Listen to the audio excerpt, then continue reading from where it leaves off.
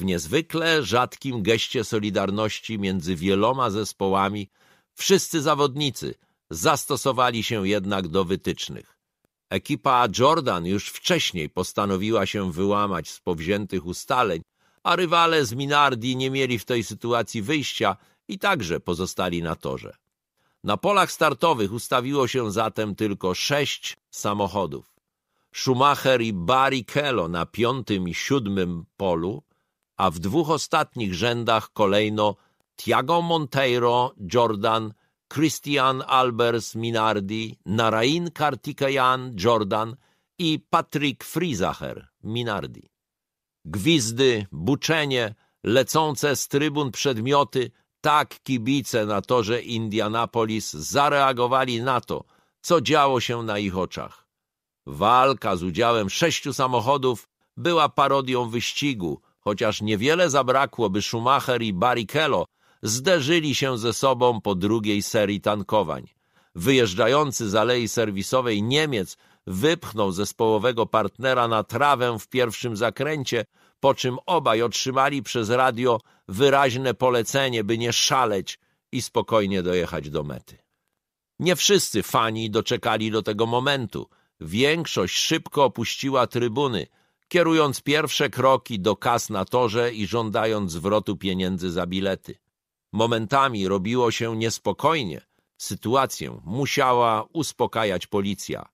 Nie wytrzymał także Mika Salo, były kierowca Formuły 1, komentujący wyścig w fińskiej telewizji.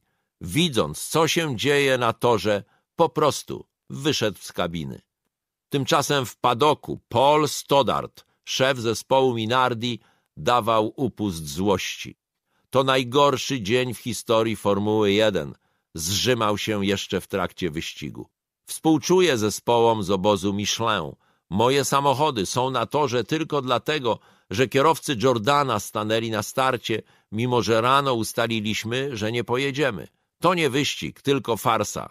Przepraszam kibiców na torze i miliony przed telewizorami. Formuła 1 powinna być sportem, a nie... Jesteś na mnie zły? Zastanawiał się przepytujący go na żywo holenderski reporter Jack Ploy. Nie, Jack, po prostu miałem właśnie przekląć na antenie twojej telewizji, ale się powstrzymałem, odparł szef Minardi. Ależ w naszej telewizji możesz przeklinać, nie przejmuj się. Mogę? Na pewno? To jest pie... szaleństwo. Co prawda zespół Minardi zdobył w tym wyścigu ostatnie punkty w swojej historii, ale Stoddart był wściekły na rywali z Jordana, którzy postanowili złamać wcześniejsze ustalenia. W starciu dwóch najsłabszych ekip, które w normalnych warunkach nie miały najmniejszych szans na punkty, zdobywane wówczas przez pierwszą ósemkę, o kolejności na koniec sezonu, w której jedno miejsce oznacza różnicę kilku milionów dolarów w wypłacanych za wyniki premiach, co dla małych zespołów jest kwotą nie do pogardzenia, przy zerowym dorobku decyduje lepszy bilans miejsc. Przykładowo, jedno jedenaste miejsce zdobyte w wyścigu pełnym awarii czy defektów pozwala pokonać rywala, który w pozostałych Grand Prix jest lepszy, ale dojeżdża najwyżej na dwunastej pozycji. W farsie na Indianapolis Jordan zdobył 11 punktów, a Minardi 7. Było zatem po zawodach. Jedynym kierowcą, który cieszył się po wyścigu i świętował sukces na podium, był trzeci na mecie Monteiro. Było to pierwsze i jedyne podium dla Portugalii w Formule 1. Pozostali trzej zawodnicy z końca stawki także wywalczyli najlepsze wyniki w swoich generalnie mało udanych karierach w Formule 1. Kartikeyan, Albers i Friesacher ani wcześniej, ani potem nie zdobyli choćby punktu. Monteiro miał tylko trochę więcej szczęścia, bo jeszcze w tym samym sezonie zajął ósme miejsce w Grand Prix Belgii, ale na tym licznik jego zdobyczy się zatrzymał. Zdegustowani fani otrzymali od firmy Michelin zwrot kosztów biletów na wyścig, a francuska firma dodatkowo sfinansowała 20 tysięcy wejściówek na Grand Prix USA w sezonie 2006. Widowisko i kibice są w Stanach Zjednoczonych świętością, a farsa z Indianapolis z pewnością nie wzmocniła wizerunku Formuły 1 po drugiej stronie Atlantyku. Max Mosley widział to nieco inaczej. Paradoksalnie, szerzej rozumiana amerykańska publiczność właśnie bezpośrednio dzięki temu incydentowi po raz pierwszy dowiedziała się o istnieniu Formuły 1. Stara mądrość głosi, że nie ma czegoś takiego jak zły rozgłos. Przedtem Formuła 1 nigdy nie przebiła się do najważniejszych serwisów informacyjnych w USA, nawet w związku z poważnymi wypadkami, bo poza Mario Andrettim kierowcy nigdy nie byli tam powszechnie znani, a Mario, na szczęście, nigdy nie miał poważnego wypadku w Formule 1. Pojawiły się niemądre komentarze samozwańczych specjalistów, a jeden wyjątkowo głupi ekspert ogłosił nawet koniec Formuły 1 w Stanach Zjednoczonych. Jak to zwykle bywa, prawda leży po środku. Wydarzenia z Indianapolis zszargały wizerunek Formuły 1 nie tylko w USA. Owszem, wróciła ona na ten tor, ale już tylko na dwie edycje. Od sezonu 2008 znów szerokim łukiem omijała Stany Zjednoczone, by pojawić się tam ponownie dopiero w 2012 roku. Za to nowy gospodarz wyścigu, Circuit of the Americas w Teksasie, przypadł do gustu całemu światu Formuły 1. Tamtejsi fani wreszcie pokochali wyścigi Grand Prix. W sezonie 2021 ustanowili rekord frekwencji podczas całego weekendu. Przez tor na przedmieściach Austin przewinęło się wówczas 400 tysięcy kibiców. Od sezonu 2022 w USA znów odbywają się dwie rundy. Wreszcie udało się podbić Miami, gdzie tor wytyczono wokół stadionu futbolowego. Niebagatelny wpływ na popularność Formuły 1 w USA ma także serial Jazda o życie na platformie Netflix. Jak się później okazało, zwycięstwo w farsie na Indianapolis było jedynym triumfem Schumachera i Ferrari w sezonie 2005. Walka o tytuł nadal rozgrywała się pomiędzy Alonso a Raikkonenem. Obaj wygrali po siedem wyścigów, ale pod względem regularności górą był kierowca Renault, który pierwszy tytuł zapewnił sobie już w Grand Prix Brazylii, gdy do końca zmagań pozostawały jeszcze wyścigi w Japonii i Chinach. W wieku 24 lat i dwóch miesięcy Alonso został najmłodszym wówczas mistrzem świata, poprawiając osiągnięcie Emersona Fittipaldiego 25 lat i 9 miesięcy. Od tamtej pory na liście najmłodszych czempionów wyprzedzili go jedynie Sebastian Vettel 23 lata i 4 miesiące oraz Lewis Hamilton 23 lata i 10 miesięcy, a Max Verstappen z tytułem zdobytym w wieku 24 lat i ponad dwóch miesięcy uplasował się między Alonso a Fittipaldim. Fabryczny zespół Renault wrócił do stawki po trwającej od 1986 roku przerwie, wykupując w 2000 roku ekipę Benetton.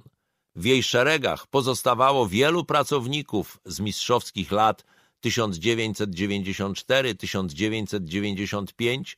Nad pionem technicznym czuwał Pat Simmons, dawny inżynier wyścigowy Michaela Schumachera. Z kolei Alonso zadebiutował w Formule 1 za kierownicą Minardi w sezonie 2001. Występy dwudziestoletniego wówczas zawodnika w najsłabszym samochodzie w stawce przykuły uwagę całego padoku i młody Hiszpan szybko trafił pod skrzydła Renault. Szef zespołu, Flavio Briatore, został jego menedżerem i Alonso po spędzeniu sezonu 2002 w roli kierowcy testowego został w 2003 roku liderem ekipy, wygrywając Grand Prix Węgier 2003 w wieku 22 lat jako najmłodszy wówczas kierowca w historii. U jego rywala w walce o tytuł w sezonie 2005 podstawowym problemem były awarie samochodu, przede wszystkim silnika Mercedes. Władze Formuły 1 zaostrzyły wprowadzone rok wcześniej restrykcje dotyczące żywotności jednostek napędowych, które musiały teraz wytrzymać dwa pełne weekendy Grand Prix, dwa razy więcej niż w poprzednim roku. Karą za przedwczesną wymianę było przesunięcie o 10 pozycji na starcie, co zdarzyło się Raikkonenowi aż czterokrotnie. Do tego Finn musiał raz startować z alei serwisowej, dwukrotnie nie ukończył wyścigu z powodu awarii, a w Grand Prix Europy na Nürburgringu sam padł ofiarą przepisu zakazującego wymiany opon w trakcie wyścigu. Spłaszczona podczas jednego z hamowań prawa przednia opona wibrowała tak mocno, że osłabiła zawieszenie, które po prostu pękło na ostatnim okrążeniu i zamiast na najwyższym stopniu podium Raikkonen wylądował w żwirze. Nic dziwnego, że zakaz zmiany opon w trakcie wyścigu przetrwał tylko jeden sezon. W 2006 roku wszystko wróciło do wyścigowej normy i przez kolejne cztery lata mechanicy podczas pit stopów normalnie zmieniali koła i uzupełniali paliwo. Od sezonu 2010 tankowanie na dobre zniknęło z Formuły 1, a o zakazie wymiany ogumienia nikt już nie myśli. FIA wezwała przedstawicieli siedmiu zespołów przed oblicze Światowej Rady Sportów Motorowych, stawiając im szereg zarzutów. Wśród nich znalazła się rezygnacja ze startu, czy też zaniedbanie w postaci przybycia na wyścig bez odpowiedniego, bezpiecznego sprzętu, czyli opon. Ostatecznie nie nałożono żadnych kar, bo głównym sprawcą zamieszania była firma Michelin, zewnętrzny dostawca, który nie podlegał jurysdykcji Międzynarodowej Federacji Samochodowej. Do tego zespół Toyota przedstawił opinię amerykańskich prawników. W ogóle się tym, groźbą kar ze strony FIA, nie przejmowali, wspominał szef japońskiej ekipy John Howard. Powiedzieli nam, gdybyście wzięli udział w wyścigu, wiedząc, że macie problemy z oponami, to w myśl prawa stanu Indiana odpowiadalibyście za przestępstwo zaniedbania. Nawet gdyby nie wydarzył się żaden wypadek, to technicznie rzecz biorąc, sam start w zawodach stanowiłby narażenie życia porządkowych oraz innych osób. Zbuntowana siódemka Renault, McLaren, Williams, Toyota, Red Bull, Zauber i British American Racing do samego końca liczyła na to, że FIA się ugnie i w ostatniej chwili zrezygnuje z rozegrania wyścigu z udziałem sześciu samochodów. Z kolei federacja wyczuła okazję do zaprezentowania determinacji i umocnienia pozycji w wielowątkowym sporze z zespołami.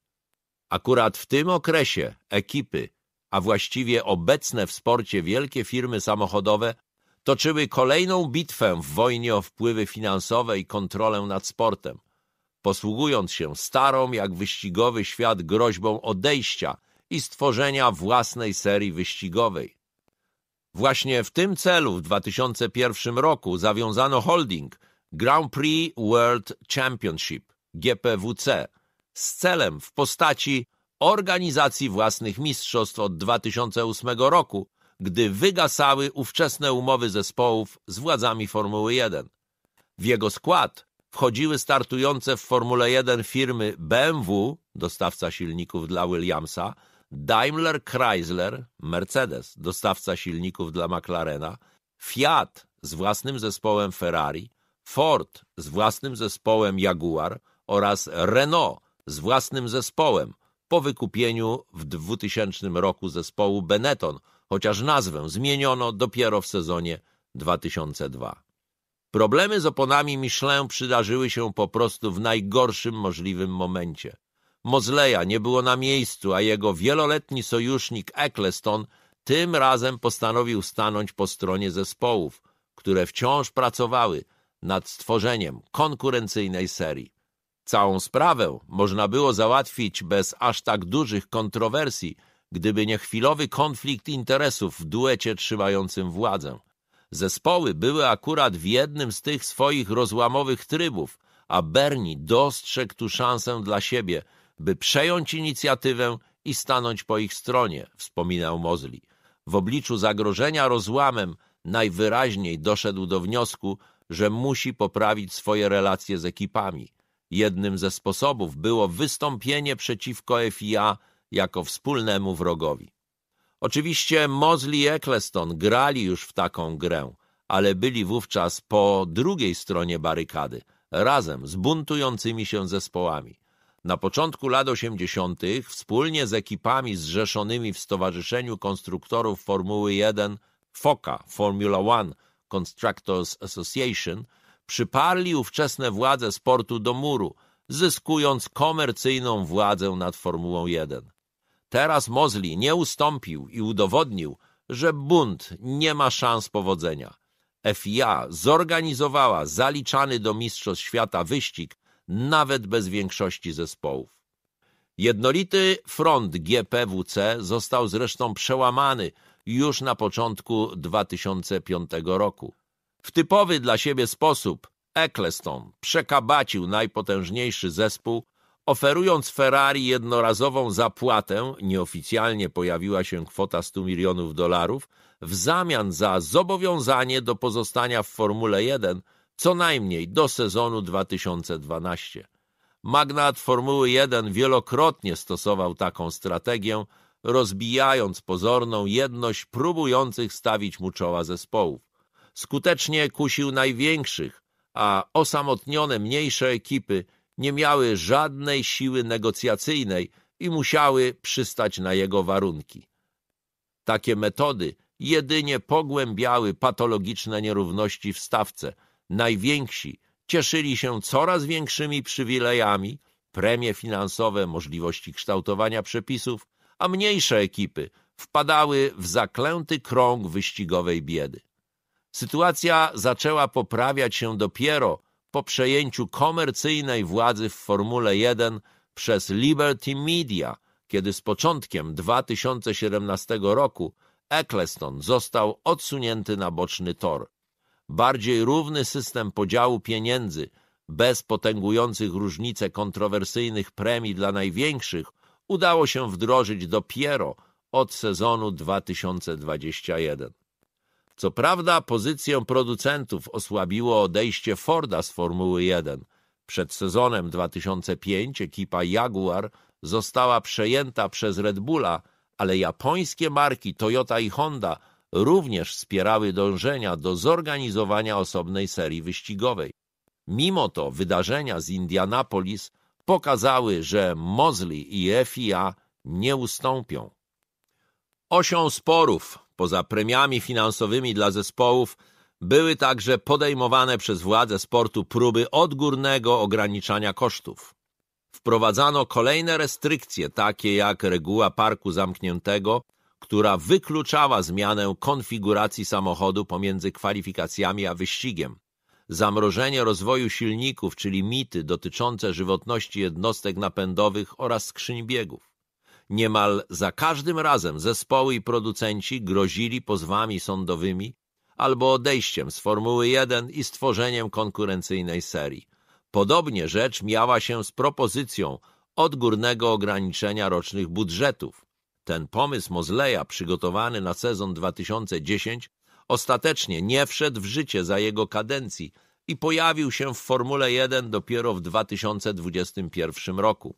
Innym rozwiązaniem, które nie padło na podatny grunt i do dzisiaj nie zostało zrealizowane, była idea wprowadzenia jednakowych jednostek napędowych i skrzyń biegów dla wszystkich zespołów. Czas pokazał, że istnienia Formuły 1 faktycznie nie można było opierać na koncernach motoryzacyjnych, a walka o obniżenie kosztów była słuszna. Oczywiście producenci samochodowi znacząco przyczynili się do rozkwitu Mistrzostw Świata na początku XXI wieku, ale trzeba pamiętać o podstawach. Takie firmy bowiem przychodzą i odchodzą, a ostateczne decyzje zapadają w gabinetach księgowych i po analizie wykresów z opłacalnością zaangażowania w jedyne w swoim rodzaju, ale bardzo kosztowne przedsięwzięcie. Stabilność finansowa gwarantowana przez takie firmy jak Ferrari, Mercedes, Renault, BMW, Ford, Toyota czy Honda, wszystkie były obecne w Formule 1 nie tylko jako dostawcy silników, ale także jako właściciele zespołów fabrycznych, umożliwiła przetrwanie w trudniejszych pod względem ekonomicznym czasach, w których ekipy straciły dostęp do pieniędzy od producentów papierosów.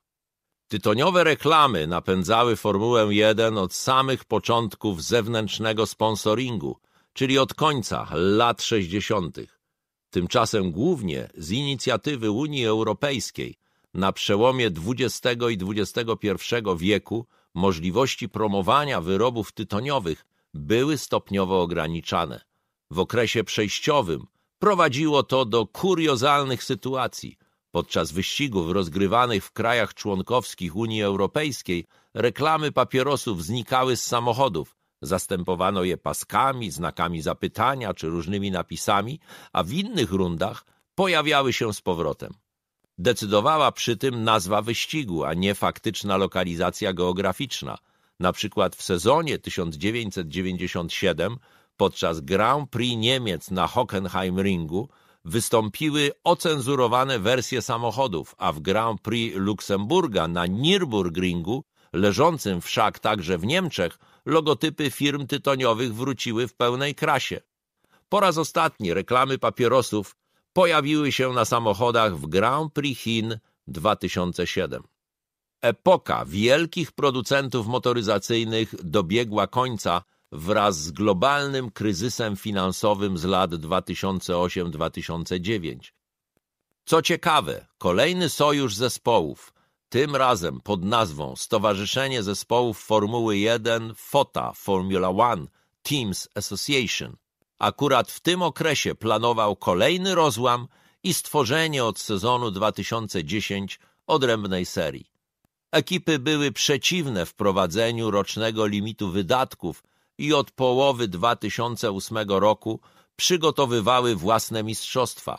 Nawet ogłoszono ich kalendarz, ale zaledwie jeden dzień po jego opublikowaniu w czerwcu 2009 roku doszło do pojednania na linii FOTA FIA. Tak się składa, że po drodze wspomniany kryzys ekonomiczny doprowadził do odejścia wielu producentów z Formuły 1. Honda wycofała się z końcem sezonu 2008, a rok później z Mistrzostw Świata zniknęły także marki BMW i Toyota. Z kolei firma Renault stopniowo zmniejszała zaangażowanie, by z początkiem sezonu 2011 pozostać już tylko dostawcą silników. Rocznego progu wydatków ostatecznie nie wprowadzono, pojawił się dopiero w sezonie 2021. Na szczęście Formuła 1 mogła nadal polegać na zespołach, które mają w DNA wyścigową rywalizację, a nie są jedynie realizacją strategii marketingowej motoryzacyjnych gigantów. W komplecie na mecie. Kuriozalne Grand Prix USA 2005 było zaledwie drugim wyścigiem w historii Formuły 1, w którym sklasyfikowano wszystkich biorących w nim udział kierowców.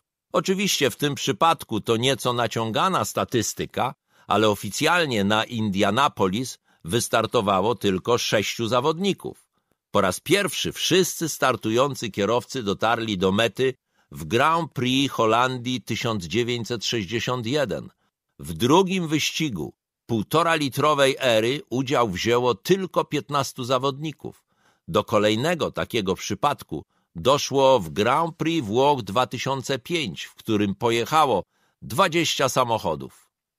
Coraz większy poziom niezawodności wyścigowych maszyn sprawił, że w kolejnej dekadzie lista takich wyścigów wydłużyła się do 12 pozycji.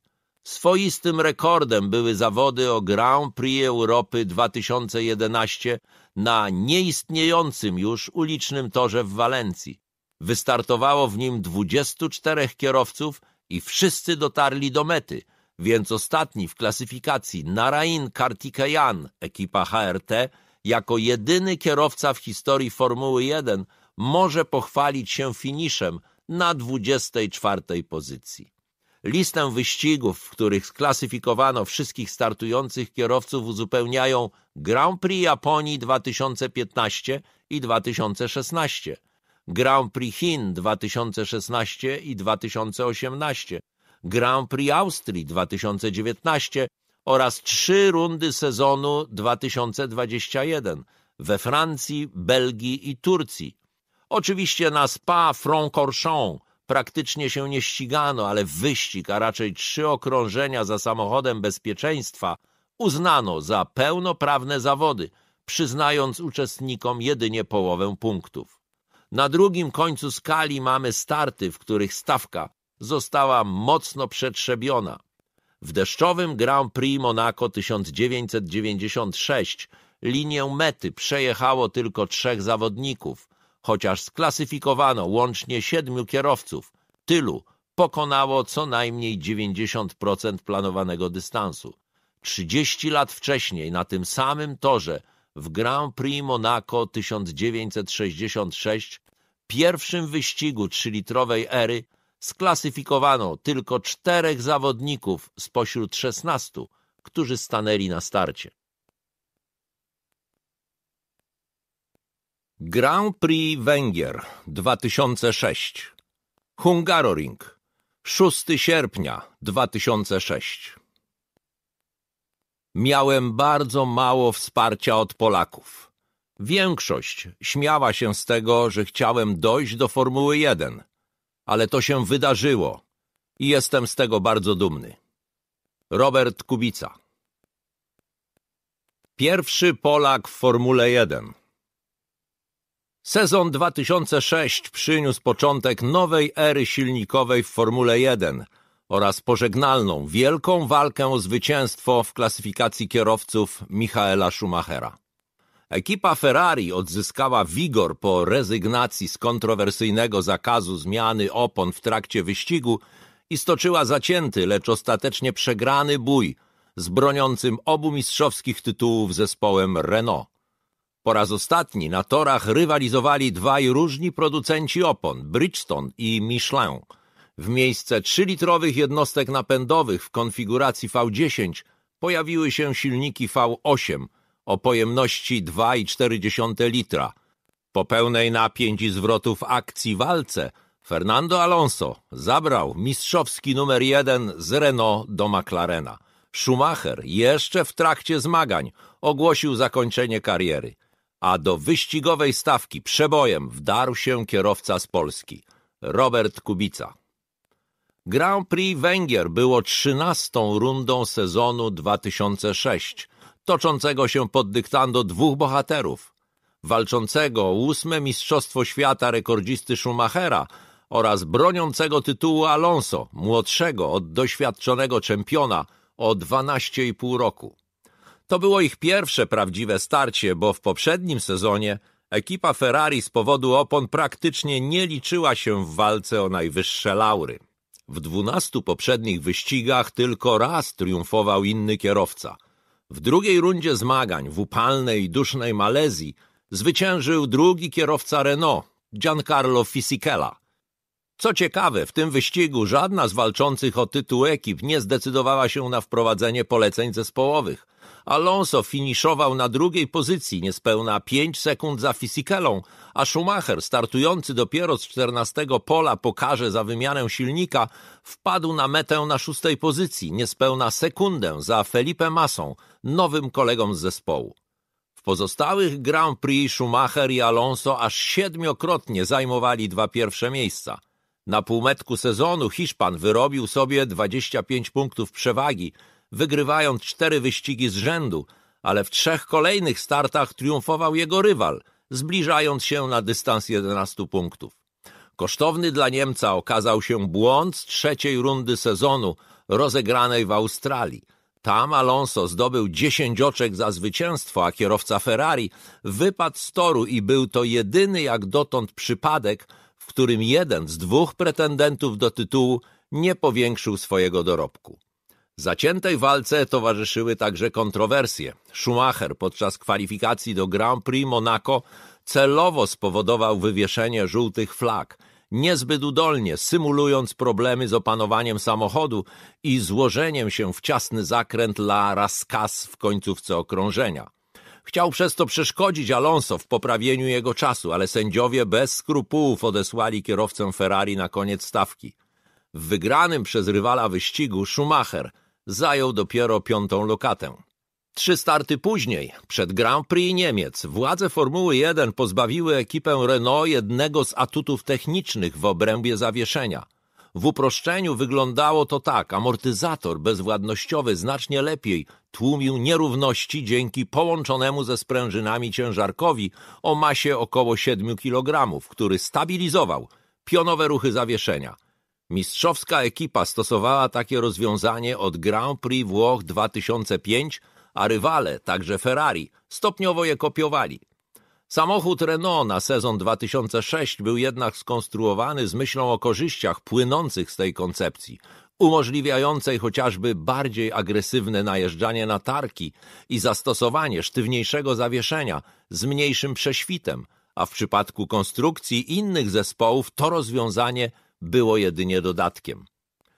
Kiedy pod koniec lipca 2006 roku Międzynarodowa Federacja Samochodowa FIA nagle uznała, że ten pomysł jest sprzeczny z dość uniwersalnym zapisem regulaminowym, zakazującym stosowania ruchomych elementów, które mają wpływ na aerodynamikę, to właśnie ekipa Renault odczuła to najmocniej. Stosowała już wówczas, podobnie jak Ferrari, chociaż Scuderia korzystała z tego pomysłu tylko na części torów, amortyzatory bezwładnościowe nie tylko z przodu, ale także z tyłu samochodu, z ciężarkiem o masie 3,5 kg. Kłopoty z wdrożeniem takiego rozwiązania miał McLaren, ale to Scuderia odniosła największe sportowe korzyści po zakazie stosowania amortyzatorów bezwładnościowych. Zwycięstwo w Grand Prix Niemiec, pierwszym wyścigu po wprowadzeniu zakazu, było trzecim z rzędu triumfem Schumachera. Ponadto akurat rozpoczynał się trzytygodniowy okres, w trakcie którego obowiązywał zakaz testowania samochodów na torze. Ekipa Renault mogła zatem przystosować auto do nowych przepisów jedynie podczas wyścigowych weekendów. Oczywiście zespół ucierpiał na tym, że utrata amortyzatora bezwładnościowego zbiegła się w czasie z letnim zakazem testów, zwracał uwagę Bob Bell, dyrektor techniczny Renault. Bez wątpienia usunięcie amortyzatora bezwładnościowego pogorszyło nasze osiągi. W przeciwnym razie nie stosowalibyśmy tego komponentu, dodawał Pat Simmons, szef inżynierii. Co prawda zespół sędziowski pracujący podczas Grand Prix Niemiec uznał to rozwiązanie za zgodne z regulaminem, ale wówczas władze FIA zapowiedziały apelację od tej decyzji podjętej przez własnych sędziów i ekipa Renault Wolała nie ryzykować potencjalnego wykluczenia, gdyby odwołanie rozpatrywane przez Trybunał Apelacyjny FIA zostało uznane. Następnie wyścigowa karawana zjawiła się na Węgrzech, gdzie amortyzatory bezwładnościowe zostały zakazane ostatecznie. Na Hungaroringu gorąco między walczącymi o tytuł zawodnikami zrobiło się już podczas treningów, a swój mimowolny udział w powstałym zamieszaniu miał debiutujący właśnie w tym wyścigu Robert Kubica. Podczas piątkowych treningów Alonso wyprzedził jeden z samochodów przy żółtych flagach, a w osobnym incydencie zajechał drogę Robertowi Dornbossowi, kierowcy testowemu Red Bulla i gwałtownie zahamował mu przed nosem. Był to rewanż za to, że Holender wcześniej przeszkadzał mu na szybkim okrążeniu. Sędziowie wlepili mu dość oryginalną karę – za każde z tych przewinień doliczano kierowcy Renault po jednej sekundzie do każdego okrążenia w kwalifikacjach. Wydawało się, że Schumacher bez problemu kolejny raz zmniejszy stratę punktową do rywala, lecz w sobotnim treningu to zawodnik Ferrari podpadł sędziom. Sesję przerwano, gdy na torze z awarią silnika swojej Hondy zatrzymał się Jenson Button – już po wywieszeniu czerwonych flag Schumacher wyprzedził dwóch kierowców, Alonso i Kubicę. Zgodnie z procedurami obaj musieli przedstawić sędziom własną wersję wydarzeń, a po ich zeznaniach siedmiokrotnego mistrza świata również ukarano doliczeniem dwóch sekund do każdego okrążenia kwalifikacyjnego. Tak się zatem złożyło, że walczący o Mistrzostwo Świata kierowcy przystępowali do walki o pola startowe z takim samym balastem czasowym – przez to żaden z nich nie zdołał wejść do pierwszej dziesiątki i swój udział w sobotnich zmaganiach zakończyli na segmencie Q2. Schumacher był dwunasty, Alonso natomiast piętnasty, mimo że obaj uzyskali dwa najlepsze czasy. Dzięki temu Kubica już w debiucie znalazł się w finałowej dziesiątce kwalifikacji, pokonując do tego o prawie pół sekundy doświadczonego zespołowego partnera Nika Heidfelda. W niedzielę pierwszą trójkę na polach startowych utworzyli Kimi Raikkonen w McLarenie, Felipe Massa w Ferrari i Rubens Barrichello w Hondzie. Jego zespołowy partner Jenson Button uzyskał czwarty czas, ale za wymianę silnika po sobotniej awarii został cofnięty o 10 pozycji i do wyścigu ruszał z 14 miejsca. Po tej karze Schumacher awansował na 11 pole, a Kubica do pierwszego w życiu wyścigu Formuły 1 startował z dziewiątej pozycji. Najważniejszym momentem były przenosiny do Włoch, kiedy rodzice, zwłaszcza mój ojciec, postanowili, że w 1998 roku mam ścigać się w tamtejszych mistrzostwach kartingowych, mówił Kubica podczas czwartkowej konferencji prasowej przed swoim debiutem w Grand Prix. W Polsce motorsport nie istnieje. Mamy trochę kartingu, nie ma żadnych wyścigów aut jednomiejscowych. Miałem bardzo mało wsparcia od Polaków. Nie było łatwo, zwłaszcza po przesiadce do samochodów, kiedy trzeba było znaleźć budżet, bo ludzie w Polsce nie byli zainteresowani. Większość śmiała się z tego, że chciałem dojść do Formuły 1, ale to się wydarzyło i jestem z tego bardzo dumny. Skoro jestem tutaj, bez wsparcia z Polski, to poradzę sobie z pozostaniem tu na dłużej. Mały Robert kręcił kierownicą już jako kilkulatek, najpierw w elektrycznym samochodziku terenowym, który wypatrzył w salonie Sobiesława Zasady, trzykrotnego rajdowego mistrza Europy. Rodzice, mama Anna i ojciec Artur sprawili mu taki prezent złączonej urodzinowo-gwiazdkowej okazji. Tata ustawiał slalomy na podwórku w krakowskiej dzielnicy Grzegżółki, a niespełna pięcioletni przyszły kierowca Formuły 1 błyskawicznie opanował dziwną technikę jazdy autkiem, które miało napęd na jedno tylne koło. Nieco inaczej skręcało w prawo, a inaczej w lewo. Mimo, że na oficjalne starty w kartingu trzeba było wówczas czekać do dziesiątego roku życia, rodzinne przygotowania ruszyły już wcześniej. Kilka razy w tygodniu ojciec zawoził małego Roberta prosto ze szkoły do Wyrazowa pod Częstochową. Tam znajdował się najbliższy Krakowa porządny tor kartingowy. Letnie wakacje rodzina Kubiców najchętniej spędzała w okolicach Koszalina, gdzie z kolei można było trenować na najlepszym, najbardziej wymagającym polskim torze. Od razu po skończeniu dziesięciu lat Kubica zdobył licencję kartingową i zaczął startować w Mistrzostwach Polski. Robert od początku zaskakiwał dojrzałością, wspominał Jerzy Wrona, który przez prawie cztery lata przygotowywał Kubicy go karty i zajmował się ich obsługą. Chłopak był szalenie komunikatywny, otwarty, uśmiechnięty, miał smykałkę, dryg do jazdy. Nie każdy się z tym rodzi. Od początku wykazywał ogromne predyspozycje do wyczynowej jazdy. Urodził się z takim darem, do tego dużo trenował. Jego ojciec dbał, żeby jeździł jak najczęściej i jak najwięcej. Współpraca była fantastyczna. Roberta nigdy nie trzeba było namawiać do jazdy. Przychodził i się upominał, że chce pojeździć. W sezonie 1997 startował w czterech kategoriach w Polsce, a my nie mieliśmy dodatkowych mechaników. Byliśmy we dwóch, z Arturem i Robert jako kierowca. Szybko okazało się, że rodzinny zespół nie ma czego szukać na krajowych torach. Przez trzy sezony Kubica zdobył sześć mistrzowskich tytułów w różnych kategoriach.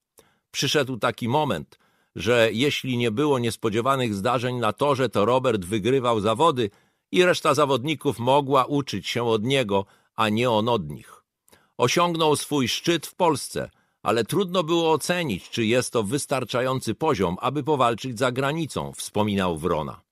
Jednak już pierwsze wizyty we Włoszech, gdzie poziom kartingu był najwyższy na świecie, przyniosły sukcesy. Ostry kontrast między skromnymi przybyszami z odległej Polski, a dysponującymi znakomitym zapleczem zawodnikami z zachodu Europy błyskawicznie zacierał się na torze.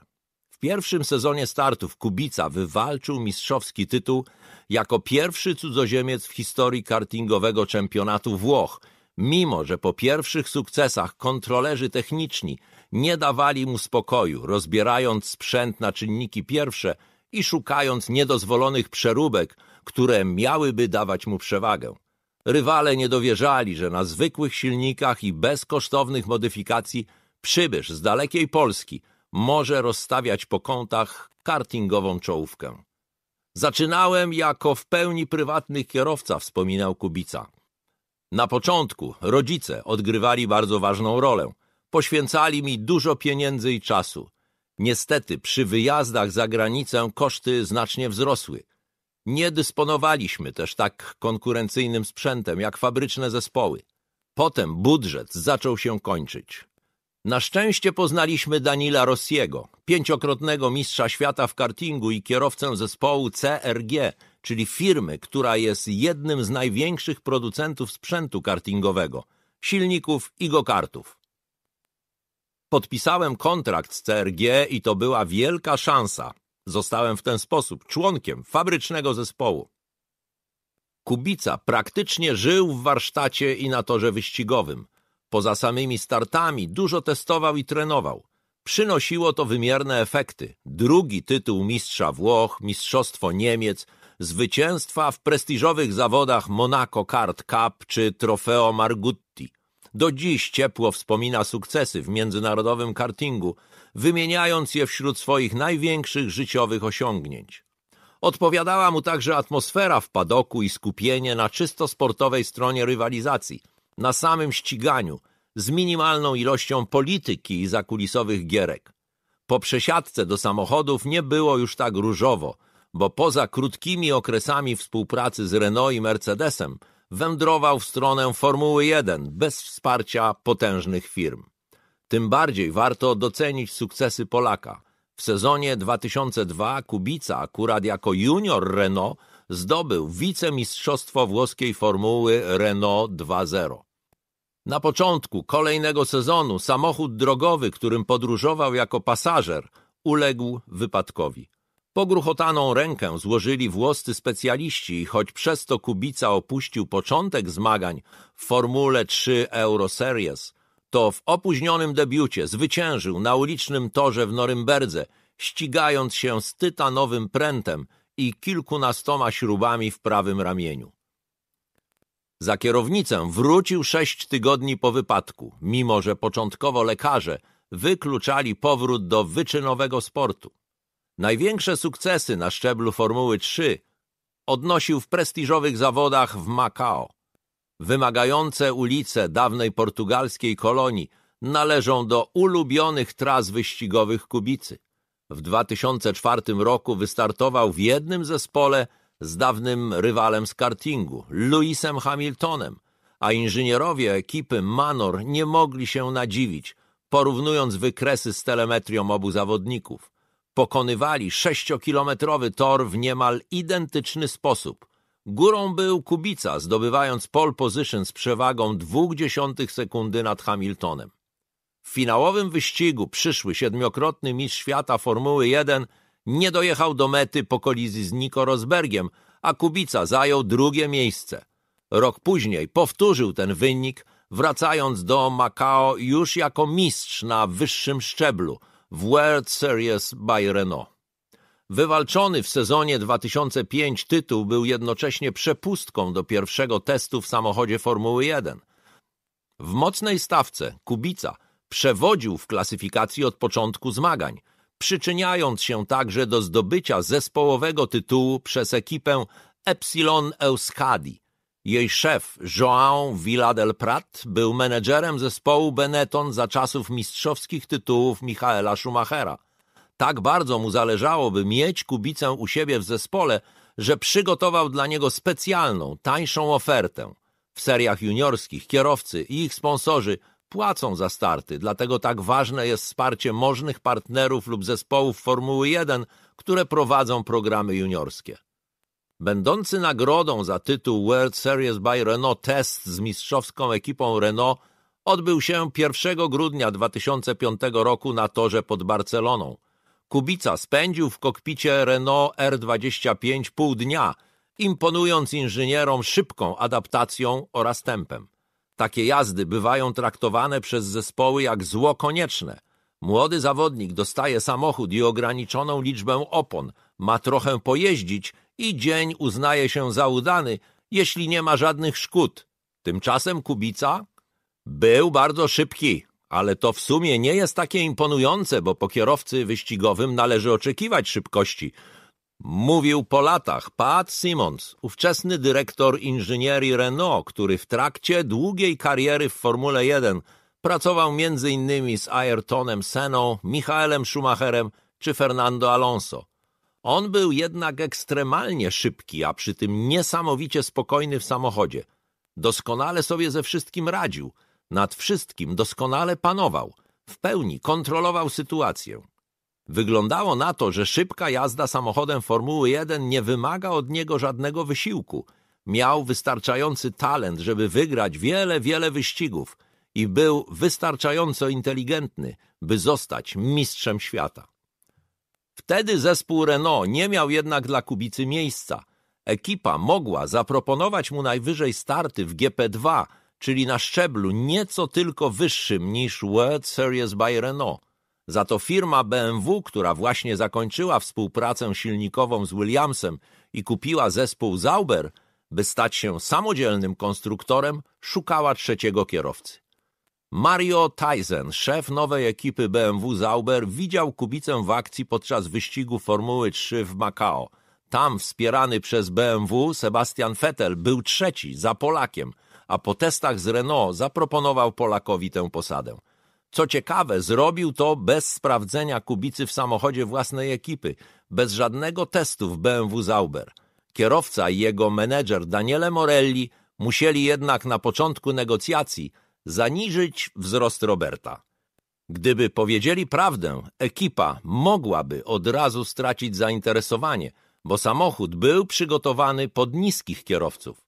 Aby zmieścić się w kokpicie, Kubica musiał korzystać ze specjalnych butów o bardzo cienkiej podeszwie. W tamtych czasach posada rezerwowego była ogromną szansą i stwarzała gigantyczne możliwości rozwoju. Zespoły spoza pierwszej czwórki klasyfikacji konstruktorów w poprzednim sezonie mogły podczas piątkowych treningów korzystać z dodatkowego samochodu prowadzonego właśnie przez trzeciego kierowcę. Podstawowy duet Nick Heidfeld i Jacques Villeneuve oszczędzał silniki i opony, więc właśnie na takim zawodniku spoczywał ciężar przygotowań do reszty weekendu. Ponadto wtedy można było bez ograniczeń testować pomiędzy wyścigami. Kubica w trakcie sezonu 2006 spędził na różnych torach wyścigowych 39 dni testowych, a rekordzista Pedro de la Rosa z McLarena aż 54. Solidna praca kierowcy testowego imponowała inżynierom BMW Zauber, a czasy uzyskiwane przez Kubicę podczas piątkowych treningów oraz styl jego jazdy robiły wrażenie na obserwatorach. Dobitnym przykładem była Kanada, gdzie przy pierwszej wizycie na torze imienia Gilles Villeneuve'a polski kierowca popisywał się jazdą na milimetry od betonowych barier, z opanowaniem godnym wyścigowego weterana, a nie żółtodzioba, bez ani jednego startu na koncie. Kubica to killer, komentował Gerhard Berger, zwycięzca dziesięciu Grand Prix i były zespołowy partner Ayrtona Seny. Rzadko widuje się kogoś takiego w Formule 1. Od razu po wyjeździe na tor jest super szybki. Niewielu kierowców to potrafi. Patrzyłem na artystę przy kierownicy, przyznawał John Watson, mający na koncie wspólne starty z Nikim Laudą i pięć wygranych wyścigów w Formule 1. Niesamowite, jak potrafi wykorzystać każdy centymetr toru. Nie da się pojechać szybciej i bardziej precyzyjnie. Właśnie w swoim domowym wyścigu na torze, nazwanym na cześć jego ojca, Villeneuve popełnił błąd rozbijając samochód. Były mistrz świata nie błyszczał ani szybkością, ani motywacją, a jego kontrakt z Zauberem na sezon 2006 został niejako odziedziczony przez BMW. Nowi właściciele zespołu zaczęli szukać sposobu na rozstanie z Kanadyjczykiem i kiedy po kolejnym wypadku podczas Grand Prix Niemiec na torze Hockenheim Villeneuve narzekał na bóle głowy, Tyson postanowił zastąpić go Kubicą w rozgrywanym w kolejny weekend Grand Prix Węgier. Jacques poinformował nas, że nie jest gotowy do startu, mówił szef BMW Zauber. Robert podczas testów i piątkowych treningów wywarł niesamowite wrażenie na zespole i teraz sprawdzimy, jak się spisze podczas wyścigu. Nie zdecydowaliśmy jeszcze, kto będzie startował w pozostałych rundach oraz w przyszłym sezonie. Przygotowywałem się przez cały rok, nie startując w wyścigach, więc cieszę się z tej szansy, skomentował Kubica. Jestem dumny z zaufania, jakim obdarza mnie zespół. Nie chcę go rozczarować. W taki oto sposób na Hungaroringu w 13 rundzie sezonu 2006 polski debiutant zajął w wyścigowym kokpicie BMW Zauber miejsce Wilnewa, którego 9 lat wcześniej na tym samym torze oglądał z trybun. W 1997 roku Kubica nawet jeszcze nie zdążył wypłynąć na szersze kartingowe wody. Pierwsze mistrzowskie tytuły poza granicami Polski wciąż pozostawały w sferze planów i marzeń, ale już wtedy postanowił, że jeśli zjawi się po raz drugi na wyścigu Formuły 1, to już w roli zawodnika. I tak też się stało. Szlak wiodący z leżącego na wschodzie Europy wyścigowego marginesu do wielkiego świata zawodów Grand Prix siłą rzeczy musiał być kręty i wyboisty. Wspomniany przez Kubicę tuż przed debiutem brak zainteresowania wyścigami w jego ojczyźnie wynikał przede wszystkim ze znikomej wiedzy na ten temat. Wysiłkami jednego nastolatka, który dzięki ambicji, uporowi, umiejętnościom i wsparciu najbliższych dotarł na sam szczyt, nie dało się od tak nadrobić kilku dekad całkowitego oderwania Polski od motorsportowej rzeczywistości. W komunistycznym kraju sporty motoryzacyjne kojarzące się z nowoczesną technologią i barwnym powiewem zachodniego świata nie były mile widziane przez władze. Samochód jako dobro luksusowe nie wpisywał się w socjalistyczne teorie, lecz mimo to polscy zawodnicy odnosili godne podziwu sukcesy w rajdach. Sobiesław Zasada trzykrotnie zdobywał Mistrzostwo Europy w 1966, 1967 i 1971 roku, a dwukrotnie trzecią lokatę w czempionacie Starego Kontynentu wywalczył Andrzej Jaroszewicz 1975-1976. Rajdowcy z Nadwisły próbowali sił także w Mistrzostwach Świata, startując nawet maszynami rodzimej produkcji, takimi jak Syrena, polski Fiat 125P czy Polones. Za to w wyścigach kraje bloku komunistycznego kisiły się we własnym sosie, rywalizując w organizowanym od 1963 roku Pucharze Pokoju i Przyjaźni. Korzystano w nim początkowo z samochodów Formuły Junior, później Formuły 3, a od 1972 roku socjalistycznej Formuły Ister, znanej także jako Formuła Wastok. W zmaganiach narodowych reprezentacji startowały konstruowane w Związku Radzieckim maszyny Estonia, czechosłowackie, metaleksy, polskie promoty czy melkusy rodem z Niemieckiej Republiki Demokratycznej. Napędzające je silniki o pojemności 1,3 litra pochodziły głównie z drogowych aut marki Łada, chociaż stosowano także silniki z samochodów Fiat, Skoda czy Wartburg. W 1973 roku, tym samym, w którym Jerzy Szczakiel zdobył Mistrzostwo Świata na żużlu, a na najniższym stopniu podium w tej rywalizacji stanął Zenon Plech, ośmiu polskich kierowców ustanowiło za kierownicą polskiego Fiata 125P trzy światowe rekordy prędkości w jeździe długodystansowej. Pętlę do bicia rekordu wyznaczono na wyłączonym z ruchu odcinku po niemieckiej autostrady z Wrocławia do Legnicy, a po dwóch tygodniach jazdy w polskie ręce trafiły rekordowe wyniki na dystansach 25 i 50 tysięcy kilometrów oraz 25 tysięcy mil. W dowodzonej przez zasadę grupie kierowców znalazł się oczywiście Jaroszewicz, zwany Czerwonym Księciem. Jego ojciec, Piotr, przez dekadę piastował stanowisko premiera Polskiej Rzeczpospolitej Ludowej, więc takie powiązania rodzinne ułatwiały miłośnikowi życia na pełnym gazie nie tylko rozwój własnej kariery za kierownicą, ale także całego polskiego motorsportu. Andrzej Jaroszewicz kierował ośrodkiem badawczo-rozwojowym w żerańskiej fabryce samochodów osobowych, a dzięki zagranicznym startom nawiązywał cenne kontakty. To dzięki niemu w 1979 roku na świeżo wybudowany tor w Poznaniu zespół kanadyjskiego miliardera Waltera Wolfa przywiózł maszynę Formuły 1, model WR1, którym dwa lata wcześniej Jody Scheckter, zmierzając po wicemistrzostwo świata, wygrał Grand Prix Monaco. Gdy kierowca z południowej Afryki już w barwach Ferrari z powodzeniem walczył o tytuł w sezonie 1979, Jaroszewicz po przejechaniu jego starym autem kilku okrążeń poznańskiego obiektu zaczął pracować nad sprowadzeniem Formuły 1 nad Wisłę. Jedyny polski tor wymagał wówczas tylko niewielkich przeróbek i rozbudowy, ale polityczne zawirowania skutkujące usunięciem Piotra Jaroszewicza ze stanowiska premiera na początku 1980 roku zniweczyły ambitne plany Czerwonego Księcia. W tym okresie Bernie Eccleston chciał trafić z Formułą 1 za żelazną kurtynę. Odwiedził nawet Polskę, ale skoro klimat polityczny szybko się tu ochłodził, zainteresowanie przeniósł dalej na wschód. Leonid Breżniew słynął z zamiłowania do zachodniej motoryzacji. W kolekcji swoich samochodów posiadał m.in. Ferrari i Rolls-Royce'a, ale nie udało się dopiąć żadnych szczegółów przed śmiercią sekretarza generalnego Komunistycznej Partii Związku Radzieckiego w 1982 roku. Wciąż próbowano zorganizować wyścig w Moskwie, ale tamtejsza rzeczywistość okazała się trudna do przeskoczenia.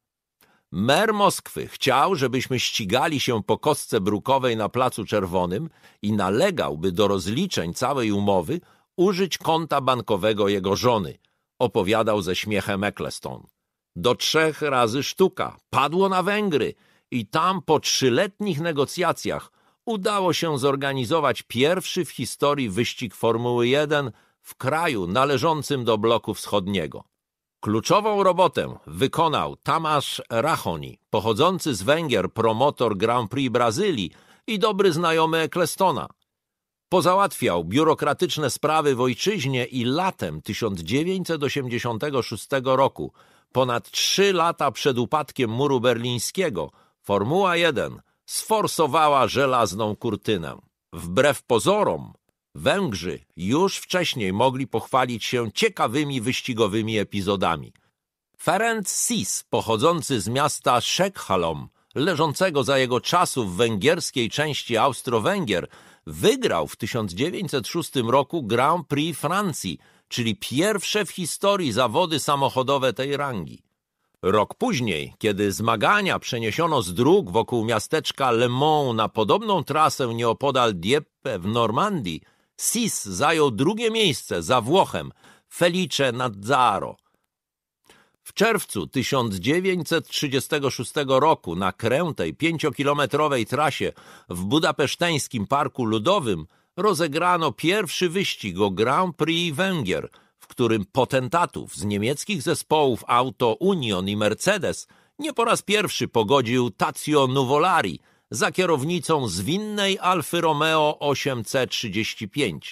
Jej projektant Vittorio Jano, który po II wojnie światowej pracował dla Lancia i Ferrari, urodził się jako Wiktor Janosz i był synem węgierskich emigrantów. Pół wieku później zauroczony pięknem Budapesztu Eccleston namawiał Węgrów do zorganizowania wyścigu w mieście – ale ostatecznie postawiono na budowę nowego toru. W wiosce Modziorut, nieco ponad 20 kilometrów na północny wschód od centrum stolicy, w ekspresowym tempie powstała pętla. Kręta, dość krótka nitka w Dolinie Trzech Źródeł od samego początku była sporym wyzwaniem dla kierowców, zwłaszcza, że tradycyjną porą rozgrywania węgierskiej rundy Mistrzostw Świata jest upalne lato.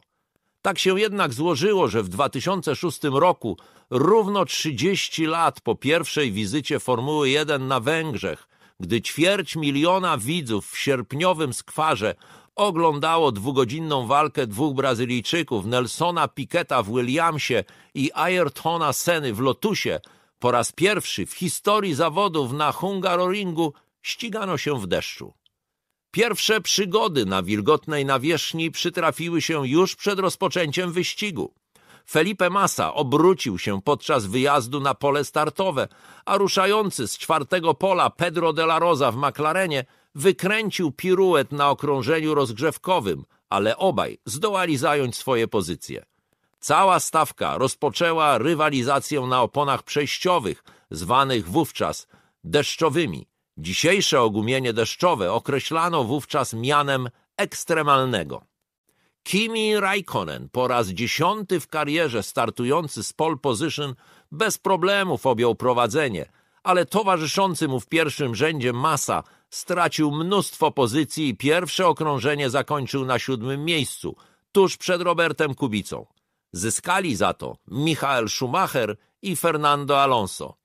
Kierowca Ferrari sprytnie obrał zewnętrzny tor jazdy w pierwszym zakręcie i szybko przebił się na czwartą pozycję. Alonso natomiast awansował na szóste miejsce. Szybko uporał się z Giancarlo Fisichelą w drugim Renault, a po czterech okrążeniach jechał już przed Schumacherem. Samochody Ferrari nie miały tempa na wilgotnym torze, ponieważ opony Bridgestone spisywały się w tych warunkach gorzej niż ogumienie Michelin urywali z czołówki. Z francuskich opon korzystał m.in. zespół Honda, co prawda drugi po starcie Rubens Barrichello zjechał na pierwszy pitstop już po pięciu okrążeniach, ale za to jego zespołowy partner Johnson Button błyskawicznie odrabiał straty po karze za sobotnią wymianę silnika. Zaledwie po siedmiu okrążeniach jechał na czwartej pozycji. Tymczasem Kubica już na drugim kółku obrócił się w szykanie i spadł z ósmej pozycji na szesnastą. Na kolejnych okrążeniach przebił się na jedenaste miejsce, ale ponownie wypadł z toru, uszkadzając tym razem przednie skrzydło. Po bardzo dobrym starcie miałem w tych warunkach pewne problemy, bo nie mam dużego doświadczenia z kontrolą trakcji oraz innymi ustawieniami, mówił później Polak. Na drugim okrążeniu popełniłem błąd i obróciłem się w szykanie. Później, po kolejnym błędzie, uderzyłem w barierę. Dlatego musieliśmy zmienić strategię pit stopów. Kubica musiał zjechać na zmianę nosa, a wcześniejsze tankowanie przełożyło się na wspomnianą zmianę strategii w końcówce. Problemy dopadały także innych kierowców. Fisichella po ostrej walce z Schumacherem, która zakończyła się uszkodzeniem przedniego skrzydła w samochodzie Ferrari, zakończył rywalizację na poboczu. Po wczesnym pitstopie Raikkonena na czele znalazł się Alonso, który po 25 rundach z 70 miał już całe okrążenie przewagi nad ósmym w klasyfikacji Schumacherem. Kierowca Renault poczuł się jeszcze bardziej komfortowo, kiedy chwilę później moment nieuwagi kosztował Raikkonena drugą lokatę. Kierowca McLarena wpadł na tył dublowanego samochodu Toro Rosso prowadzonego przez Vitantonio Liuzziego. Sędziowie ogłosili neutralizację, którą większość jadących w czołówce zawodników wykorzystała na odwiedzenie mechaników. Z toru nie zjechał Baton, który tankował 10 okrążeń wcześniej. Dzięki temu odebrał drugą lokatę Delarozie, a Schumacher odzyskał stracone okrążenie, choć wciąż był dopiero siódmy. Po restarcie efektownymi i skutecznymi atakami popisywali się dwaj kierowcy, Kubica i Michael Schumacher. Polak na przestrzeni trzech okrążeń uporał się z Ralfem Schumacherem w Toyocie oraz Felipe Massą. Z kolei starszy brat Ralfa wyprzedził najpierw Davida Coultarda, a następnie Nika Heidfelda. Warunki się poprawiały i pierwszym kierowcą, który podjął ryzyko i zjechał po opony przystosowane do jazdy po suchym torze, był Scott Speed z Toro Rosso. Nawierzchnia wciąż jednak była zbyt wilgotna i Amerykanin po paru okrążeniach wrócił po ogumienie przejściowe. Baton po zakończeniu neutralizacji tracił prawie 10 sekund do uciekającego Alonso, bo podczas interwencji samochodu bezpieczeństwa zaplątał się między nich zdublowany Takuma Sato z ekipy Super Aguri, a wówczas przepisy nie umożliwiały maruderom odzyskania straconego okrążenia i zdarzało się, że wolniejsze samochody przeszkadzały liderom w walce. Kierowca Hondy szybko odrobił połowę strat, a po kilku kółkach zaczął zdecydowanie zbliżać się do prowadzącego. Był tuż za nim, gdy na 46. okrążeniu odwiedził mechaników. Ci jedynie uzupełnili paliwo, pozostawiając ten sam komplet wyraźnie już zużytych opon przejściowych. Tak samo postąpiono w Ferrari, obsługując samochód Schumachera.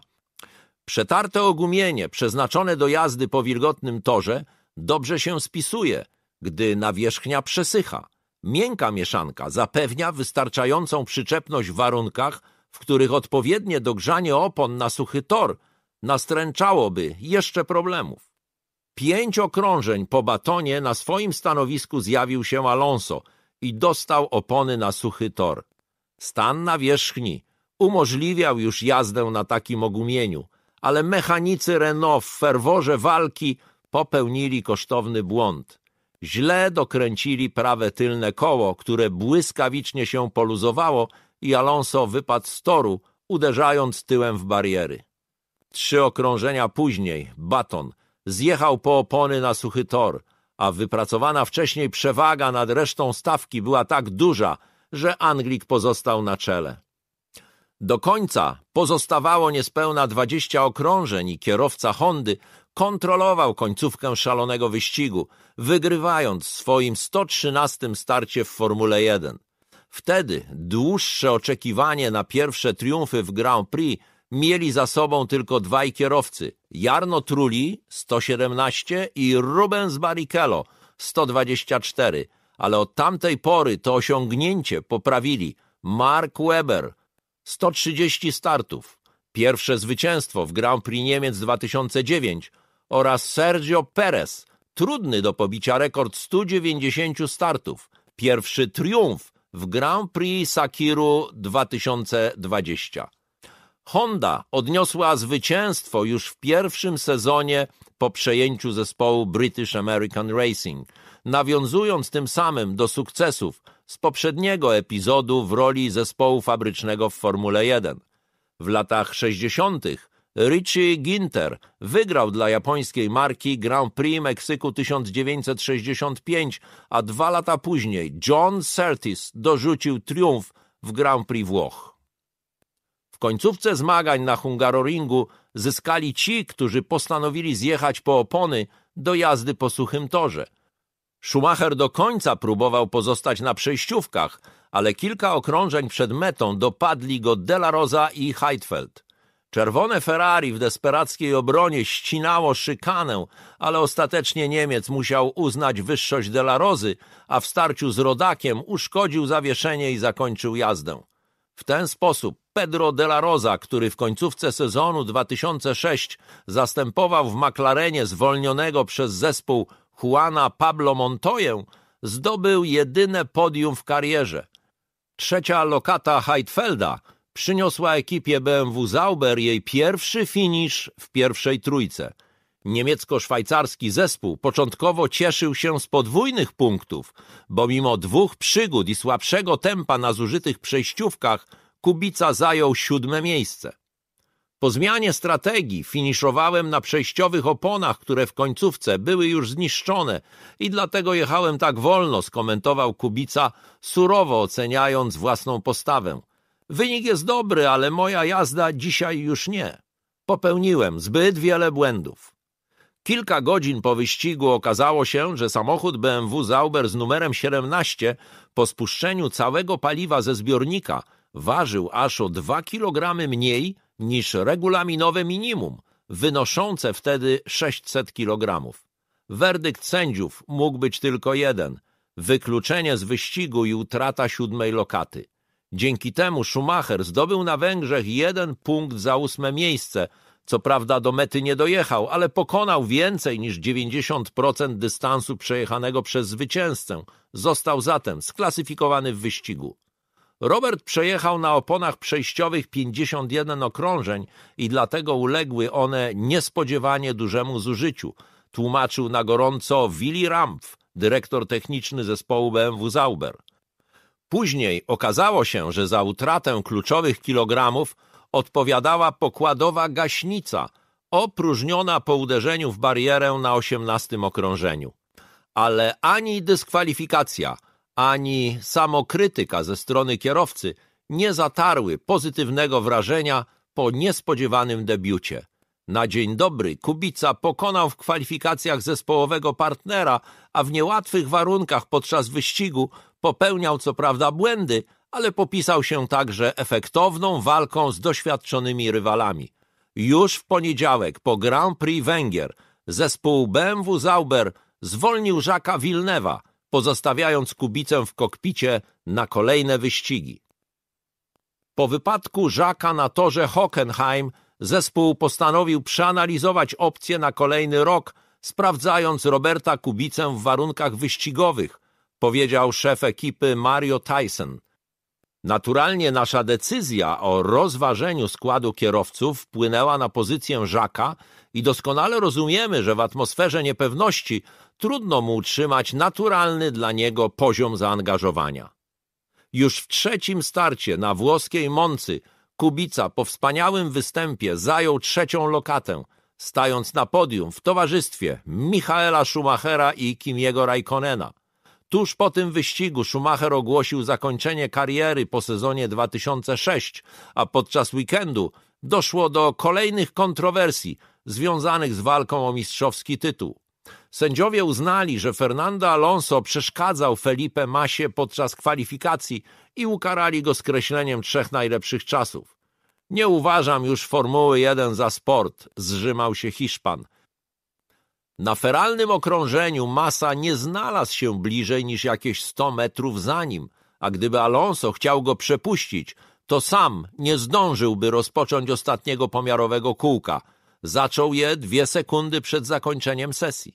Ponadto kierowca Ferrari mógł nawet zyskać trochę czasu, jadąc w strudze aerodynamicznej za Renault na prostych, przed i za łukiem parabolika.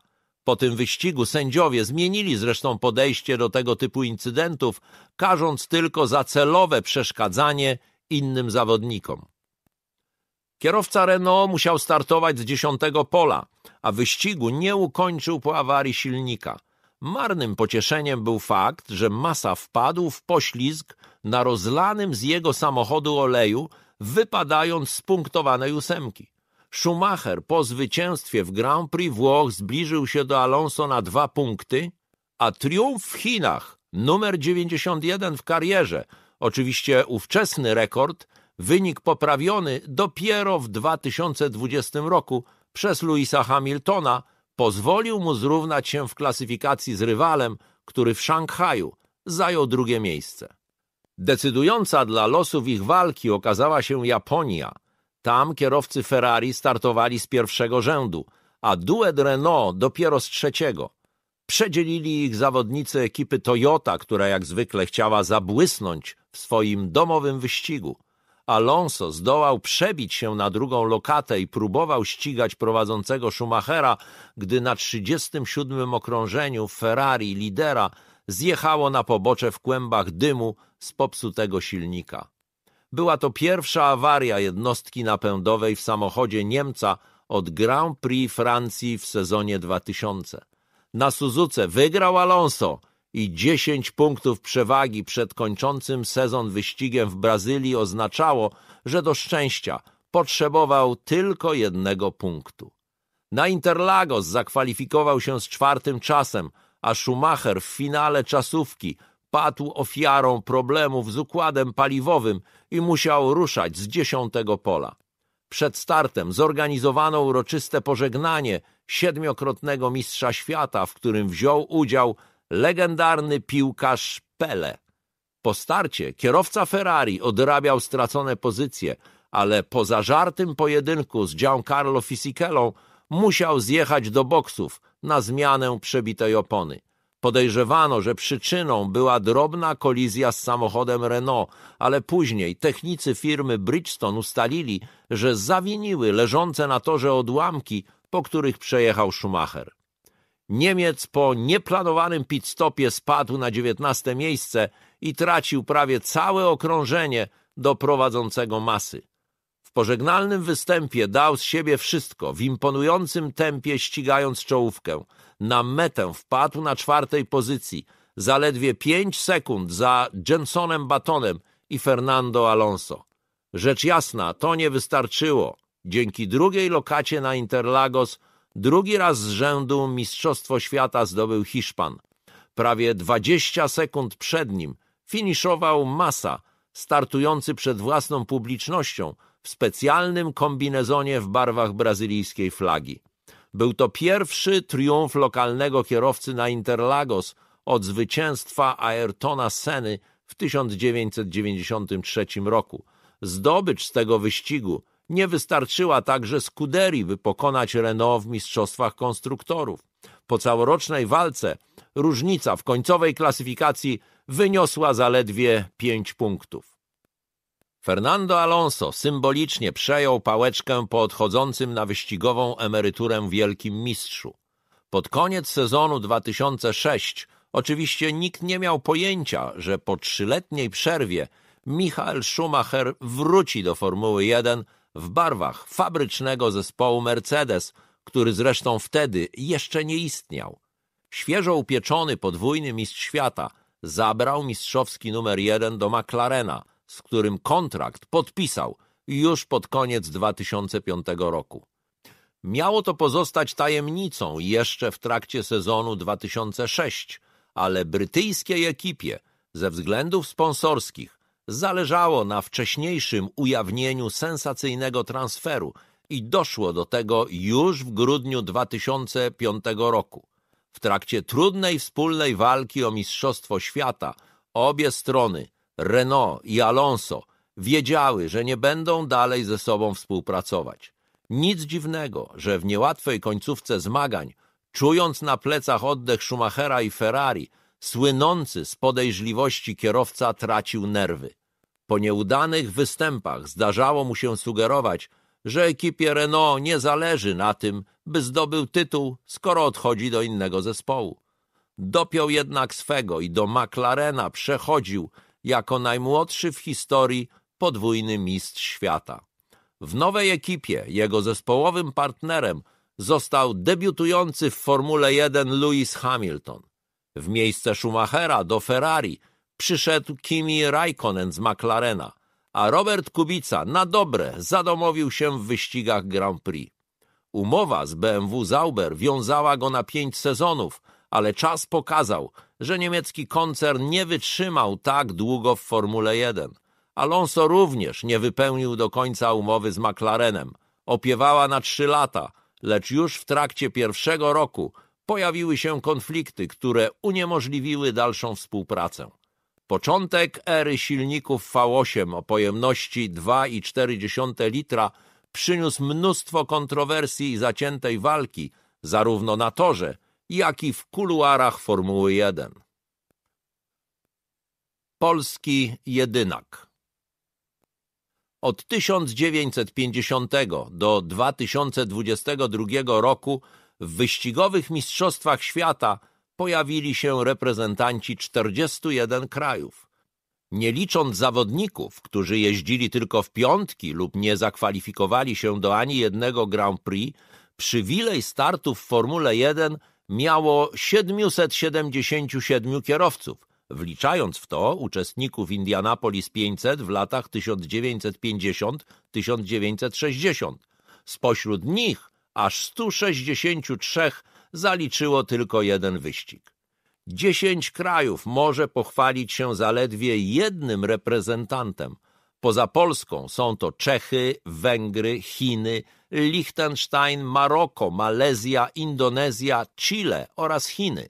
W sezonie 2022 do stawki dołączył Guanyu Zhou. Co ciekawe, w gronie państw, które nie miały ani jednego zawodnika w Formule 1, jest na przykład Norwegia oraz wszystkie kraje dawnego ZSRR poza Rosją, z której pochodzi aż czterech kierowców Formuły 1 Witalij Pietrow, Daniel Kwiat, Siergiej Sirotkin i Nikita Mazepin. Spośród państw za żelaznej kurtyny jako pierwsi swojego kierowcy doczekali się Czesi. Thomas Enge pod koniec sezonu 2001 wystartował w trzech Grand Prix za kierownicą samochodu Prost.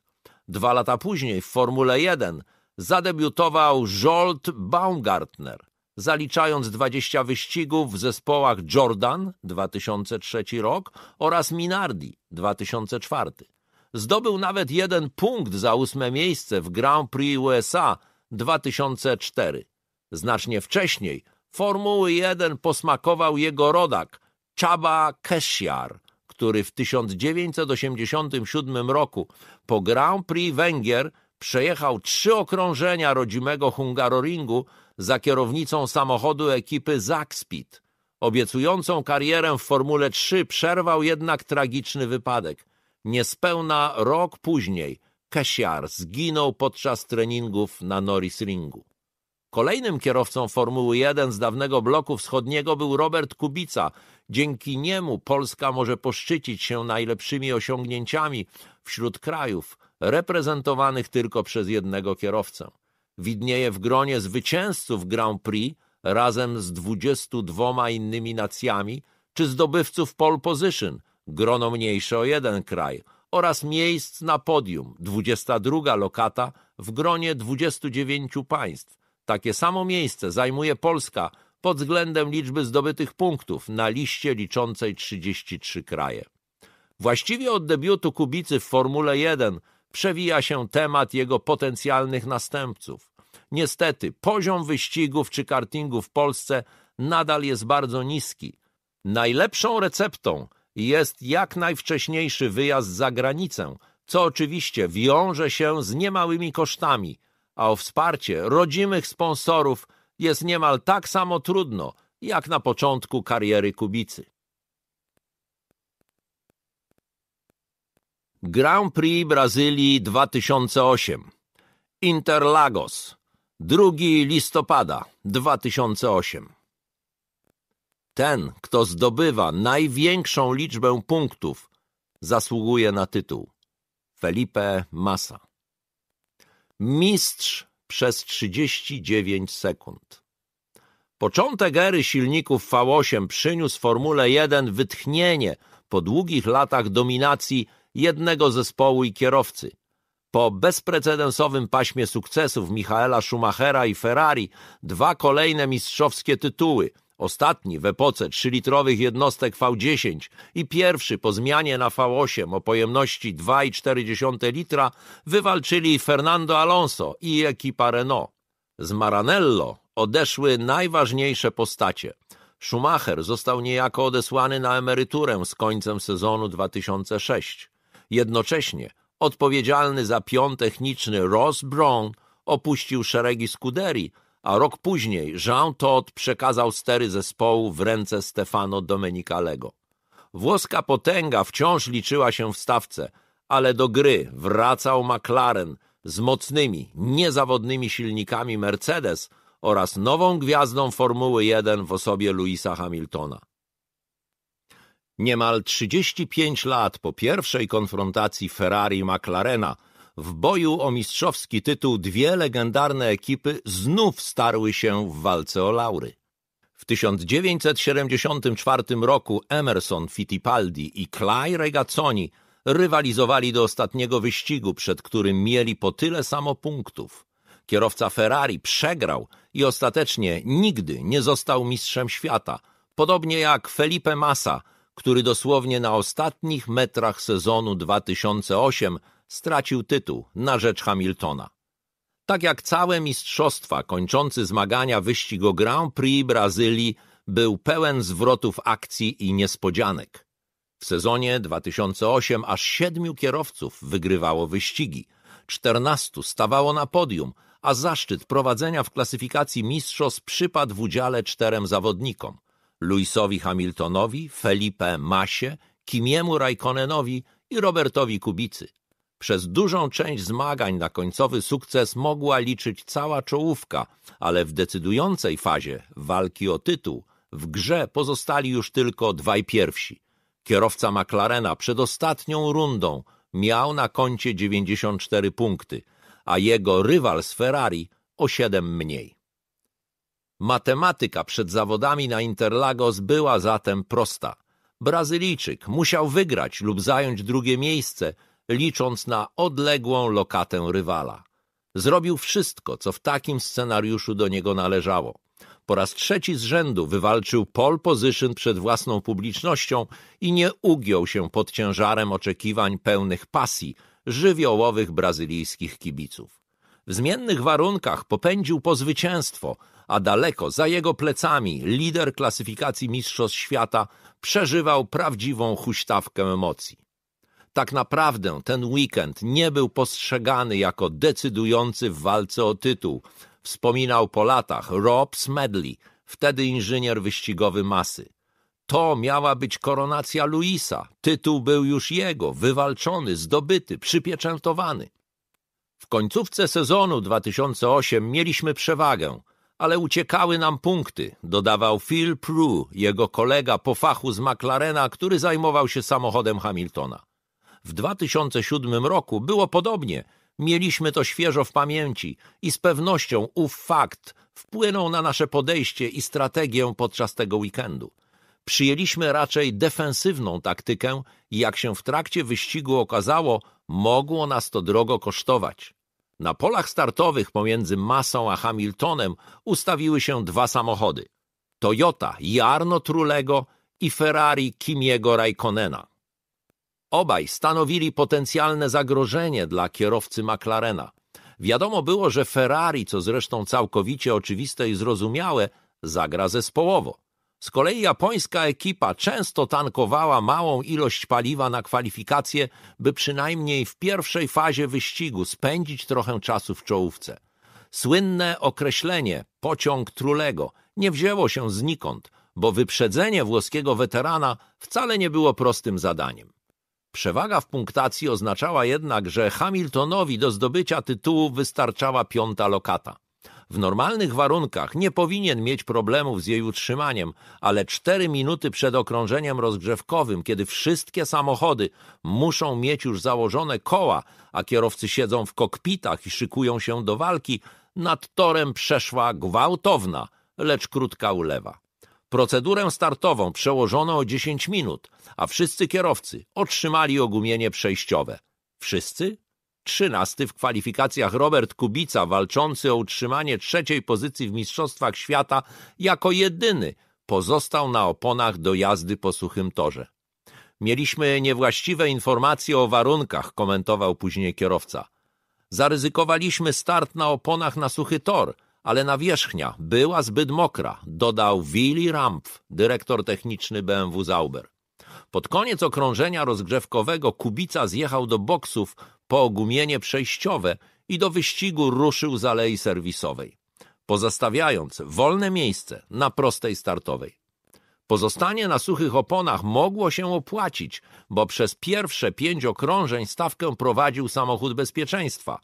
David Coulthard w pożegnalnym starcie w Formule 1 ujechał ledwie kilkaset metrów, odpadając po kolizji z dwoma kierowcami Williamsa, Nico Rosbergiem i Kazukim Nakajimą. Zacząłem karierę w Williamsie, a teraz dwaj kierowcy tej ekipy ją zakończyli, skomentował z humorem Szkot. Dwa zakręty dalej, w osobnym incydencie rozbił się Nelsinio Piquet w Renault. Jeszcze przed zakończeniem neutralizacji opony przejściowe na suche zamienił Giancarlo Fisichella z Force India, a od siódmego do jedenastego okrążenia taką samą operację wykonali wszyscy pozostający w wyścigu kierowcy. Pewnie prowadził Massa, mając za sobą Sebastiana Fetela i Fernando Alonso. Kierowcy Toro Rosso i Renault zyskali po trzy pozycje dzięki dość wczesnej zmianie opon. Raikkonen był czwarty, a Hamilton siódmy. Kierowca McLarena błyskawicznie uporał się z Trulim, a na osiemnastym okrążeniu wyprzedził Fisikelę i usadowił się tym samym w pierwszej piątce. Plan minimum został wykonany, ale w niedzielne popołudnie dość krótki tor Interlagos trzeba okrążyć aż 71 razy. Kolejność w czołówce pozostawała bez zmian aż do 27 okrążenia. Vettel planował o jedno tankowanie więcej niż rywale i po wizycie u mechaników spadł z drugiej lokaty na szóstą. Między nim a czwartym Hamiltonem jechał teraz Timo Glock w Toyocie. Na półmetku wyścigu pozostali zawodnicy z czołówki zjechali po paliwo i świeże opony. Vettel odzyskał pozycję wicelidera, ale musiał jeszcze raz zatankować. Stało się to na 20 okrążeń przed metą. Kierowca Toro Rosso wrócił na tor za Hamiltonem na piątym miejscu, ale trzymał się bardzo blisko za zawodnikiem McLarena. Z przodu Massa kontrolował wyścig, mając ponad 10 sekund przewagi nad Alonso. Niesiony dopingiem rodaków Brazylijczyk robił swoje i nie miał wpływu na to, że jego rywal w walce o tytuł, nawet po ewentualnej przegranej w pojedynku z Fetelem, wciąż zdobędzie wystarczającą liczbę punktów, by zdobyć Mistrzostwo Świata. Niespełna dziesięć okrążeń przed metą z ciemnych chmur nad Interlagos znów zaczęło kropić. Jako pierwszy po przejściowe opony zjechał na Kajima, ale nawierzchnia była jeszcze dość sucha. Dwa okrążenia później w ślady Japończyka poszło kilku innych kierowców z drugiej połowy stawki. Rubens Barrichello postawił na pełne deszczówki i nie po raz pierwszy okazało się, że doświadczony Brazylijczyk nie ma szczęścia do swojego domowego wyścigu. Delikatne ogumienie przeznaczone do jazdy po solidnie zmoczonym torze szybko uległo zniszczeniu. Inni trafnie wybierali przejściówki i pięć okrążeń przed końcem mechaników odwiedziła cała czołówka poza masą, który zjechał rundę później. Na taki ruch nie zdecydowali się tylko kierowcy Toyoty. Glock i Trulli pozostali na ogumieniu do jazdy po suchym torze i początkowo wyglądało to na świetną decyzję. Jechali na czwartej i siódmej pozycji, tempem porównywalnym do liderów. Mało tego, 69. okrążenie, kiedy do końca pozostawały już tylko dwie minuty, Glock pokonał o sekundę szybciej od masy. Na tym samym kółku Kubica, który zjechał po przejściówki niemal od razu, wcześniej niż czołówka, ale był już zdublowany przez pierwsze pięć samochodów, wyprzedził Hamiltona i Fetela. Ci nie stracili pozycji, bo Kubica tracił do nich jedno okrążenie, ale w zamieszaniu kierowca McLarena spadł za rywala z Toro Rosso. Z przodu pozostawał jeszcze Glock, więc Hamilton był w tym momencie szósty i żegnał się z tytułem. Padało coraz mocniej i w takich warunkach samochód Fetela z nieco większym dociskiem tylnego skrzydła ułatwiał mu obronę przed Hamiltonem. Siedem tygodni wcześniej kierowca juniorskiej ekipy Red Bulla wygrał deszczowe Grand Prix Włoch, zostając w wieku 21 lat i dwóch miesięcy najmłodszym triumfatorem wyścigu Formuły 1. Ten rekord odebrał mu w 2006 roku Max Verstappen i kiedy tylko warunki na to pozwalały, włączał się do walki o punktowane pozycje. Szósta lokata Hamiltona przy zwycięstwie masy oznaczała remis po 97 punktów. W takiej sytuacji decyduje liczba zwycięstw w Grand Prix. Przy identycznym dorobku porównuje się kolejne lokaty aż do wyłonienia zwycięzcy. Górą byłby zatem kierowca Ferrari z sześcioma triumfami na koncie wobec pięciu rywala. Glock rozpoczął ostatnie okrążenie z przewagą 12 sekund nad Fetelem i 13 nad Hamiltonem. Do przejechania w sezonie 2008 pozostawało niespełna 4,5 km asfaltowej wstęgi wijącej się po pagórkach między dwoma sztucznymi jeziorami na ubogich przedmieściach São Paulo. Daleko z przodu Massa pędził po jedenaste zwycięstwo w karierze, drugie na Interlagos. Rok wcześniej pracował na sukces zespołowego partnera, który właśnie tutaj sensacyjnie wyrwał Mistrzostwo Świata z rąk kierowców McLarena. Teraz Kimi Raikkonen jechał na trzeciej pozycji, tuż za Fernando Alonso, który także w Brazylii przypieczętował swoje tytuły zdobyte w latach 2005 i 2006. Brazylijczycy mają swoje Grand Prix od początku lat 70., kiedy na fali sukcesów Emersona Fittipaldiego organizowano wyścigi na starej, dwukrotnie dłuższej pętli Interlagos. W kolejnej dekadzie Formuła 1 gościła na torze Jacara Pagua w Rio de Janeiro – w jego miejscu zbudowano obiekty olimpijskie na igrzyska w 2016 roku, po czym kierowcy wrócili na współczesną, krótką wersję Interlagos. Ścigano się tu na początku sezonu, ale deszczowa aura o tej porze roku skłoniła organizatorów do zmiany terminu i od sezonu 2004 brazylijska runda odbywa się w końcówce zmagań. Stąd częste rozstrzygnięcia walk o mistrzowskie tytuły właśnie na Interlagos. Jeśli chodzi o kaprysy pogody, zmieniło się jednak niewiele. Vettel i Hamilton błyskawicznie zbliżali się do Glocka, który desperacko próbował utrzymać się na śliskiej nawierzchni. Gdzieś między nimi zaplątali się jeszcze zdublowani Kubica i Rosberg, więc ostatnie okrążenie stało pod znakiem gigantycznego chaosu. Masa przeciął linię mety i garaż Ferrari eksplodował radością. Pracownicy Ferrari i rodzina kierowcy, zawsze z bliska wspierająca Brazylijczyka, tańczyli i wpadali sobie w ramiona. Trwało to może kilkanaście sekund. Jeden z bardziej przytomnych członków ekipy nie tracił z oczu monitorów, na których można było śledzić decydujące chwile wyścigu. Dlatego jako pierwszy zorientował się, że w szalonej końcówce, w ostatnim zakręcie sezonu, Hamilton wyprzedził bezradnie ślizgający się po torze biało-czerwony samochód Glocka. Zaczął szarpać przedwcześnie fetującą rodzinę masy, a następnie z rozpaczy uderzył głową w ścianę garażu. Jednocześnie pracownicy McLarena w euforii wybiegli przed garaż, a piosenkarka Nicole Scherzinger, ufczesna partnerka Hamiltona, zaczęła skakać z radości. Nieobecny na wyścigu prezes Ferrari Luca Cordero di Montezemolo ze złości roztrzaskał telewizor, porządnie strasząc siedzącą w sąsiednim pokoju córkę. Czy to Glock? Czy to Glock? Tak, to Glock, ekscytował się Martin Brundle, komentujący wyścig w brytyjskiej telewizji.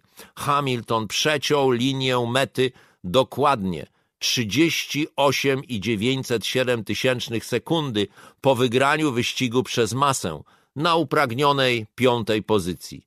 Bezradny Glock przejechał ostatnie okrążenie o prawie 20 sekund wolniej niż świeżo koronowany mistrz świata. Nie miałem pojęcia, kto jest za mną. Skupiałem się na tym, żeby dojechać do mety. Na torze było już za dużo wody. Kierowcy na przejściówkach objeżdżali mnie z obu stron. Nawet nie wiem, kiedy Luis mnie wyprzedził. Tłumaczył kierowca Toyoty, na którego po wyścigu wylała się fala nienawiści ze strony kibiców masy i przeciwników Hamiltona. Podobny los spotkał zresztą po sezonie 2021 Nicolasa Latifiego, wyzywanego i poniżanego po ostatniej rundzie zmagań za spowodowanie neutralizacji, która zakończyła się bezprecedensową decyzją dyrekcji wyścigu, mającą wpływ na ostateczne rozstrzygnięcie walki między Hamiltonem a Maxem Verstappenem. W obu przypadkach oskarżenia były absurdalne i aż nadto pokazywały, jak łatwo przekroczenie granic bezmyślnego fanatyzmu, gdy kibicuje się idolom. W końcówce miałem serce w gardle, komentował na gorąco Hamilton. Nie wiem, jak udało mi się zachować spokój. Dopisało mi szczęście na ostatnim okrążeniu, ale zrobiłem to, co do mnie należało. Krzyczałem przez radio. Mamy to? Mamy to? Powiedzieli mi, kiedy wjeżdżałem w pierwszy zakręt. Nigdy nie zapomnę tego momentu. To był najtrudniejszy wyścig w moim życiu. Kiedy minąłem metę według aktualnej kolejności, byłem mistrzem świata, relacjonował Massa. Rob Smedley, jego inżynier wyścigowy, informował mnie przez radio. Kiedy wjechałem w trzeci zakręt, powiedział mi, że Louis wyprzedził Glocka, ale czekałem jeszcze na potwierdzenie. Takie są wyścigi, a ja jestem zadowolony z tego, jak pojechałem. Gdyby zaczęło mocniej padać minutę później, to zdobyłbym tytuł. Musiało tak być. Wierzę, że wszystko dzieje się z jakiegoś powodu. Może któregoś dnia dowiem się dlaczego. Massa nigdy nie dołączył do znakomitego grona brazylijskich mistrzów świata. Emerson Fittipaldi dwukrotnie wywalczył tytuł. Nelson Piquet i Ayrton Senna po trzy razy. Licznik wygranych Grand Prix zatrzymał się u Felipe na jedenastce. Tyle samo zwycięstw odniósł swojej długiej karierze Rubens Barrichello, ale do niego przylgnęła łatka wiecznego numeru dwa u boku Michaela Schumachera w Ferrari. Jego młodszy rodak natomiast miał realną szansę na mistrzostwo. W kolejnym sezonie Massa uległ groźnemu wypadkowi podczas kwalifikacji do Grand Prix Węgier, kiedy zgubiona przez samochód Barrichello sprężyna uderzyła go w głowę. Pauzował do końca sezonu i wrócił na tor w 2010 roku, ale przez resztę trwającej do końca sezonu 2017 kariery, jeżdżąc w Ferrari i Williamsie, nie nawiązał już do sukcesów sprzed kraksy. W dramatycznym rozstrzygnięciu sezonu 2008 wrażliwy Brazylijczyk musiał przyjąć okrutny cios, ale zniósł go z godnością. Potrafił cieszyć się z drugiego triumfu w ojczyźnie, razem z wiernymi i pełnymi pasji kibicami. Swój pierwszy w karierze tytuł zdobył jednak Hamilton, który rok wcześniej sam musiał posmakować goryczy porażki na samym finiszu walki o Mistrzostwo Świata. Lewis Hamilton, cudowne dziecko Formuły 1. Dwa wyścigi przed końcem sezonu 2007 miał 12 punktów przewagi nad swoim zespołowym partnerem Fernando Alonso i 17 nad Kimim Raikkonenem z Ferrari. Zwycięstwo było wówczas warte 10 punktów, więc historyczny sukces zdawał się być na wyciągnięcie ręki, a nikt wcześniej nie zdobył tytułu w debiutanckim sezonie. Ostatecznie Hamiltonowi ta sztuka też się nie udała. W przedostatniej rundzie rozegranej w Chinach zbyt długo zwlekał ze zjazdem na zmianę zużytych na przesychającym torze przejściowych opon i w ciasnym lewym zakręcie prowadzącym do alei serwisowej stracił panowanie nad samochodem, lądując w żwirze. Wygrał Raikkonen, Alonso był drugi i w ten sposób po raz pierwszy od Grand Prix Australii 1986 aż trzej kierowcy mieli szansę na tytuł przed ostatnim wyścigiem sezonu – jak ponad dwie dekady wcześniej doszło do niespodziewanego rozstrzygnięcia. Zespołowych kolegów pogodził ten trzeci. W 1986 roku Leon Prost z McLarena pokonał Nigela Mansella i Nelsona Piqueta z Williamsa. Teraz zaś Raikkonen sprzątnął tytuł sprzed nosa Hamiltonowi Alonso. W decydującej rundzie na Interlagos ponownie zwyciężył Raikkonen. W pierwszej fazie wyścigu prowadził co prawda Felipe Massa, ale dzięki odpowiedniej strategii kierowcy Ferrari zamienili się kolejnością. Alonso stanął na najniższym stopniu podium, a Hamilton w takim scenariuszu do pełni szczęścia wystarczyłaby mu zaledwie piąta lokata, ale nawet to okazało się poza jego zasięgiem. Już na pierwszym okrążeniu, uwikłany w walkę z Alonso, wypadł na pobocze w czwartym zakręcie i spadł na ósme miejsce. Rzucił się w pogoń i zaczął odrabiać straty, ale na ósmym kółku raptownie zwolnił. Na hamowaniu do czwartego zakrętu jego McLaren stracił biegi i co prawda Hamiltonowi udało się zresetować elektronikę i skrzynia zaczęła z powrotem działać, ale w całym zamieszaniu stracił pół minuty i spadł na osiemnaste miejsce. Początkowo sugerowano, że sam kierowca popełnił błąd, omyłkowo wciskając na kierownicy ogranicznik prędkości lub przycisk uruchamiający procedurę startową. Ale zespół zapewniał, że przyczyną była usterka, prawdopodobnie elektroniki sterującej skrzynią. W każdym razie Hamilton zajął dopiero siódme miejsce z okrążeniem straty do zwycięzcy – Raikkonen o jeden punkt pokonał rywali z McLarena, chociaż losy tytułu ważyły się jeszcze przez prawie miesiąc. Po wyścigu komisarze techniczni stwierdzili, że w samochodach Williams i BMW Zauber paliwo nie spełniało wymogów dotyczących temperatury. Była niższa od temperatury powietrza, o więcej niż dopuszczone przepisami 10 stopni Celsjusza. Nico Rosberg Williams oraz Robert Kubica i Nick Heidfeld, duet BMW Zauber, zajęli miejsca od czwartego do szóstego. Ich wykluczenie z wyników dałoby zatem Hamiltonowi awans na czwartą lokatę i wystarczającą liczbę punktów, by zdobyć tytuł. Sędziowie przyznali jednak, że pojawiły się wątpliwości odnośnie do wyniku pomiaru temperatury paliwa oraz rzeczywistej temperatury powietrza i odstąpili od wymierzenia kary.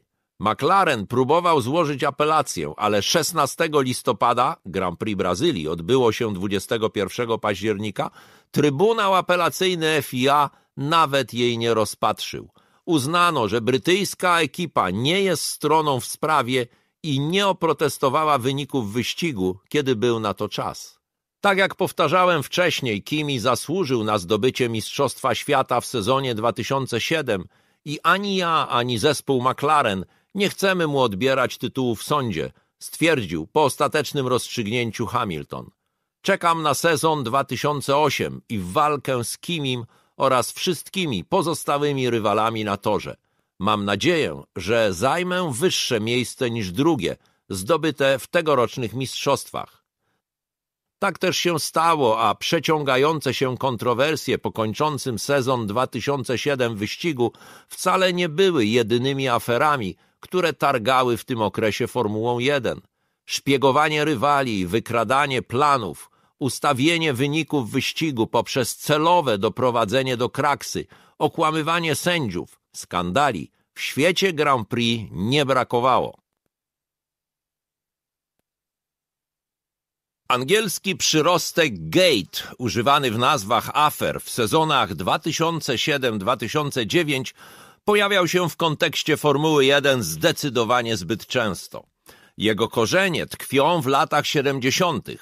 Osią wykrytego przez dziennikarzy The Washington Post skandalu, po którym w 1974 roku prezydent Stanów Zjednoczonych Richard Nixon ustąpił ze stanowiska, były próby podsłuchiwania jego politycznych przeciwników, którzy mieli swój sztab wyborczy w waszyngtońskim kompleksie biurowców Watergate. W aferach wyścigowych z udziałem największych zespołów Formuły 1 oraz mistrzów kierownicy głównymi tematami były zaś szpiegostwo, Spygate, umyślne rozbicie samochodu, Crashgate oraz okłamywanie sędziów, Liegate. Głównym aktorem rozgrywającego się w trakcie sezonu 2007 skandalu szpiegowskiego był Nigel Stepney, jeden z filarów pionu technicznego w Scuderii. Rozczarowany decyzjami personalnymi podjętymi po odejściu Rossa Browna z Ferrari. Włoski zespół oskarżył go nie tylko o próby sabotażu samochodów ekipy podczas Grand Prix Monaco, ale także o wynoszenie tajnych informacji i przekazywanie ich rywalom z McLarena. Kuriozalne dowody w tej sprawie wyszły na jaw dzięki niefrasobliwości ludzi odbierających te materiały. Stepney przekazywał plany techniczne samochodów Ferrari oraz inne istotne poufne informacje głównemu projektantowi McLarena, Mike'owi Coughlinowi, którego żona Trudy zleciła w publicznym punkcie Xero zgranie 780 stron tajnych materiałów Scuderii na płyty CD. Pracownik tego punktu postanowił powiadomić ekipę Ferrari o niecodziennym zleceniu. Materiały zawierały wszystkie techniczne sekrety, wszystkie informacje potrzebne do zbudowania i obsługiwania najnowszego samochodu Ferrari, wspominał Max Mosley, prezes Międzynarodowej Federacji Samochodowej FIA. To była prawdziwa kopalnia złota dla każdego zespołu. Zrozumieliśmy także zagadkę związaną z pewnym rozwiązaniem w Ferrari, na które McLaren zwrócił naszą uwagę w początkowej fazie sezonu. Po przebadaniu nasz dział techniczny uznał, że ten pomysł nie łamie przepisów, ale nie mogliśmy ustalić, skąd McLaren o nim wiedział. Okazało się, że Stepney i Coughlin zaczęli ubiegać się o pracę w zespole Honda i prawdopodobnie u nowego pracodawcy chcieli wykorzystać wiedzę wyniesioną z Ferrari i McLarena. Przedstawiciele Hondy potwierdzili zresztą, że odbyły się rozmowy na temat zatrudnienia, ale nie doszło przy tej okazji do przekazania żadnych poufnych materiałów. Z kolei McLaren obstawał przy stanowisku, że dane z Ferrari trafiły wyłącznie do Coughlena, a pozostali pracownicy zespołu nie zdawali sobie nawet sprawy z ich istnienia. Władze sportu początkowo uwierzyły w tę wersję, ale wszystko stanęło na głowie podczas sierpniowego Grand Prix Węgier. Atmosfera między kierowcami McLarena, dwukrotnym mistrzem świata Fernando Alonso oraz debiutantem Lewisem Hamiltonem już wcześniej była trudna do zniesienia, ale Hungaroring przyniósł kulminację wewnętrznej walki. Hiszpan nabierał przekonania, że brytyjska ekipa, której miał być liderem, podpisując trzyletni kontrakt już jako mistrz świata, faworyzuje jego zespołowego partnera. Hamilton już w pierwszym starcie zajął trzecie miejsce, w drugim finiszował o jedną lokatę wyżej, w trzecim pokonał Alonso w kwalifikacjach i wyścigu, a w szóstym zwyciężył, nie schodząc z podium przez pierwsze dziewięć Grand Prix sezonu 2007. Po drodze doszło do pierwszych tarć w zespole. Alonso spokojnie prowadził na ulicach Monako, kontrolując wyścig i nie forsując samochodu. Zanim szalał Hamilton, próbując się ścigać, chociaż gdyby była taka konieczność, lider mógłby podkręcić tempo. Debiutant długo pozostawał głuchy na radiowe komendy ze stanowiska dowodzenia. Oczywiście dla ekipy najważniejszy był dublet na mecie i po wyścigu dawał do zrozumienia, że zespół pozbawił go szans na zwycięstwo. Szefowie McLarena nie potrafili odnaleźć się w tej sytuacji. Z jednej strony utalentowany młody zawodnik mógł przejść do historii jako jedyny debiutant z mistrzowskim tytułem na koncie – z drugiej mieli doświadczonego, urzędującego czempiona, znacznie bardziej dojrzałego i kompletnego kierowcę, który potrafiłby poprowadzić zespół do jeszcze większych sukcesów.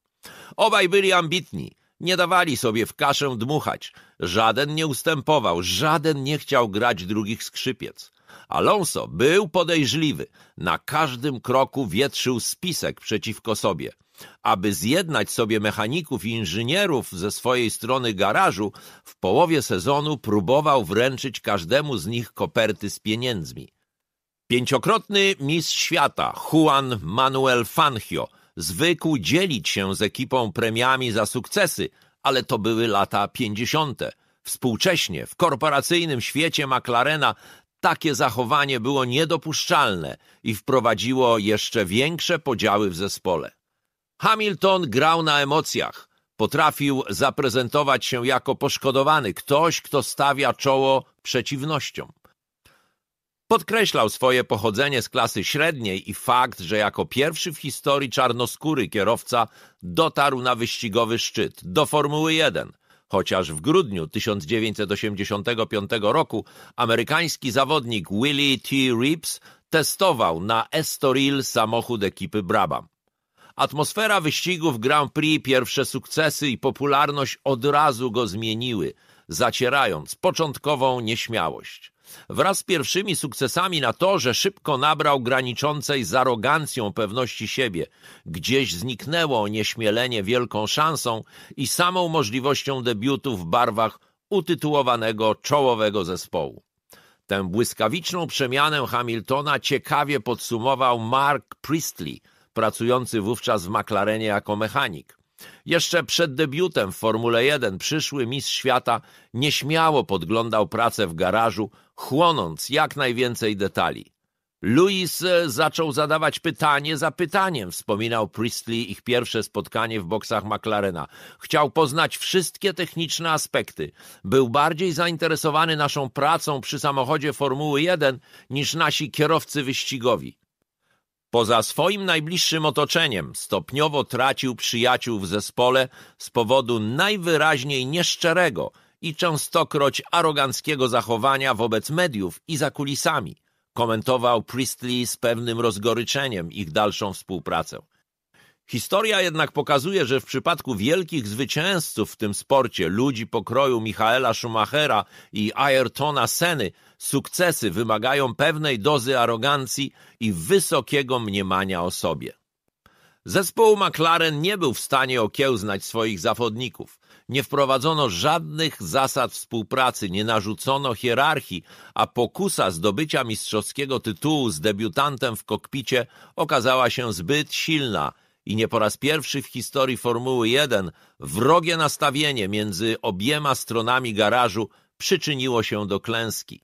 Sezon skończył się nie tylko porażką w klasyfikacji kierowców, za sprawą afery szpiegowskiej i wydarzeń z Grand Prix Węgier, McLaren stracił także Mistrzostwo Świata wśród konstruktorów. Rozczarowany atmosferą w ekipie Alonso już wiedział, że nie wypełni warunków trzyletniego kontraktu i odejdzie po zaledwie jednym sezonie. Wciąż do zgarnięcia był mistrzowski tytuł, a przed rozgrywaną na Hungaroringu jedenastą rundą zmagań tracił dwa punkty do Hamiltona. Wydawało się, że walka toczy się już tylko między nimi. Lider klasyfikacji miał 11 punktów przewagi nad Felipe Massą i 18 nad Kimim Raikkonenem. W McLarenie obowiązywały ustalenia dotyczące kolejności wyjazdu na tor w kwalifikacjach. W finałowym segmencie było to wtedy o tyle istotne, że kierowca jadący z przodu miał szansę przejechać o jedno okrążenie więcej w tej sesji i zyskiwał dzięki temu prawo do zatankowania nieco większej ilości paliwa na start wyścigu, co dawało nieznaczną przewagę strategiczną. Ten przywilej przysługiwał na przemian obu kierowcom i na Hungaroringu pierwszy miał jechać Alonso – ale to Hamilton wyjechał przed Hiszpanem z alei serwisowej i mimo napomnień ze strony zespołu nie przepuścił zespołowego partnera na okrążeniu wyjazdowym. W końcówce sesji zawodnicy zjeżdżali po świeży komplet opon i na nim walczyli o najlepsze czasy. Jako pierwszy przed garażem McLarena zaparkował Alonso. Zmieniono mu koła, ale kiedy padł sygnał do odjazdu, kierowca Pozostał na stanowisku i przez 10 sekund blokował czekającego za nim Hamiltona. Ruszył w takim momencie, by w ostatniej chwili przed zakończeniem sesji rozpocząć pomiarowe okrążenie, a jego zespołowy partner nie zdążył. Ile czasu zabrakło? pytano Hamiltona na konferencji prasowej.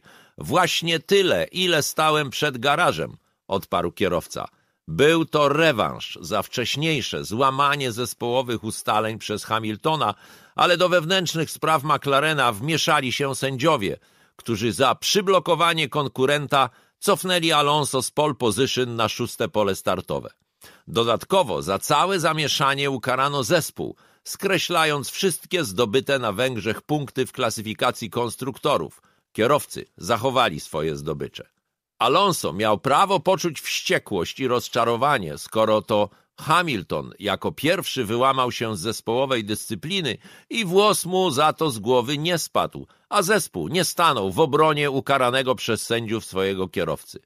Hiszpan nie czuł się już częścią ekipy i w burzliwej rozmowie z Ronem Denisem, szefem McLarena, zagroził ujawnieniem korespondencji elektronicznej, z której wynikało, że o nielegalnym pozyskaniu tajnych materiałów dotyczących samochodu i zespołu Ferrari wiedzieli różni pracownicy zespołu, nie tylko Mike Coughlin. Wystraszony Denis sam zgłosił się do prezesa FIA Maxa Mosleya. Ten już wiedział o istnieniu e-maili dzięki padokowemu głuchemu telefonowi. Kilka tygodni wcześniej Alonso poinformował o tym bowiem swojego menedżera Flavio Briatore, od którego o sprawie dowiedział się Bernie Eccleston. Ten zaś przekazał wieści dalej, właśnie Mozlejowi. Denis miał od dawna na pieńku z Mozlejem, kiedy tylko pojawiły się nowe spory między zespołami a FIA, czy to na temat zmian w przepisach, czy podziału władzy. McLaren z reguły odgrywał w nich czołową rolę. Prezes federacji nie zamierzał wypuszczać z rąk doskonałej okazji do pokrążenia przeciwnika i osłabienia nie tylko McLarena, ale także współpracującego z tą ekipą od ponad dekady Mercedesa. Obciążające zespół zeznania złożyli Alonso i trzeci kierowca Pedro de la Rosa. Z ich słów wynikało, że McLaren dysponował nie tylko szczegółowymi planami technicznymi samochodu Ferrari, ale także przekazywanymi na bieżąco informacjami dotyczącymi wyścigowej strategii czy ustawień. Niektóre informacje były sprawdzane w symulatorze McLarena, a w wewnętrznej korespondencji między pracownikami przewijały się wzmianki na temat naszego kreta w Ferrari. Włoska policja zajmująca się tą sprawą na wniosek Ferrari ustaliła dodatkowo, że Stepni na bieżąco informował Koflena o poczynaniach swojej ekipy, wysyłając mu regularnie SMSy, w sumie ponad 300, a korespondencja między oboma panami stawała się wyraźnie intensywniejsza podczas wyścigowych weekendów. McLarenowi groziło nawet dwuletnie wykluczenie z Formuły 1, ale po interwencji Ecclestona stanęło na bezprecedensowej, rekordowej karze w wysokości 100 milionów dolarów. Ponadto wykluczono zespół z Mistrzostw Świata Konstruktorów w sezonie 2007, odbierając mu wszystkie zdobyte punkty. Co ciekawe, gdyby zsumować zdobycze Hamiltona i Alonso z uwzględnieniem wspomnianego już skreślenia punktów wywalczonych przez zespół na Hungaroringu, to w klasyfikacji konstruktorów McLaren przegrałby z Ferrari jednym punktem. Ponadto projekt samochodu McLaren na kolejny rok został szczegółowo zbadany przez ekspertów z FIA, by wykluczyć jakiekolwiek inspiracje nielegalnie pozyskaną własnością intelektualną Ferrari. 5 milionów za przewinienie, 95 milionów za to, że Ron jest... Nigdy nie dowiemy się, kto tak zgrabnie podsumował werdykt w aferze szpiegowskiej.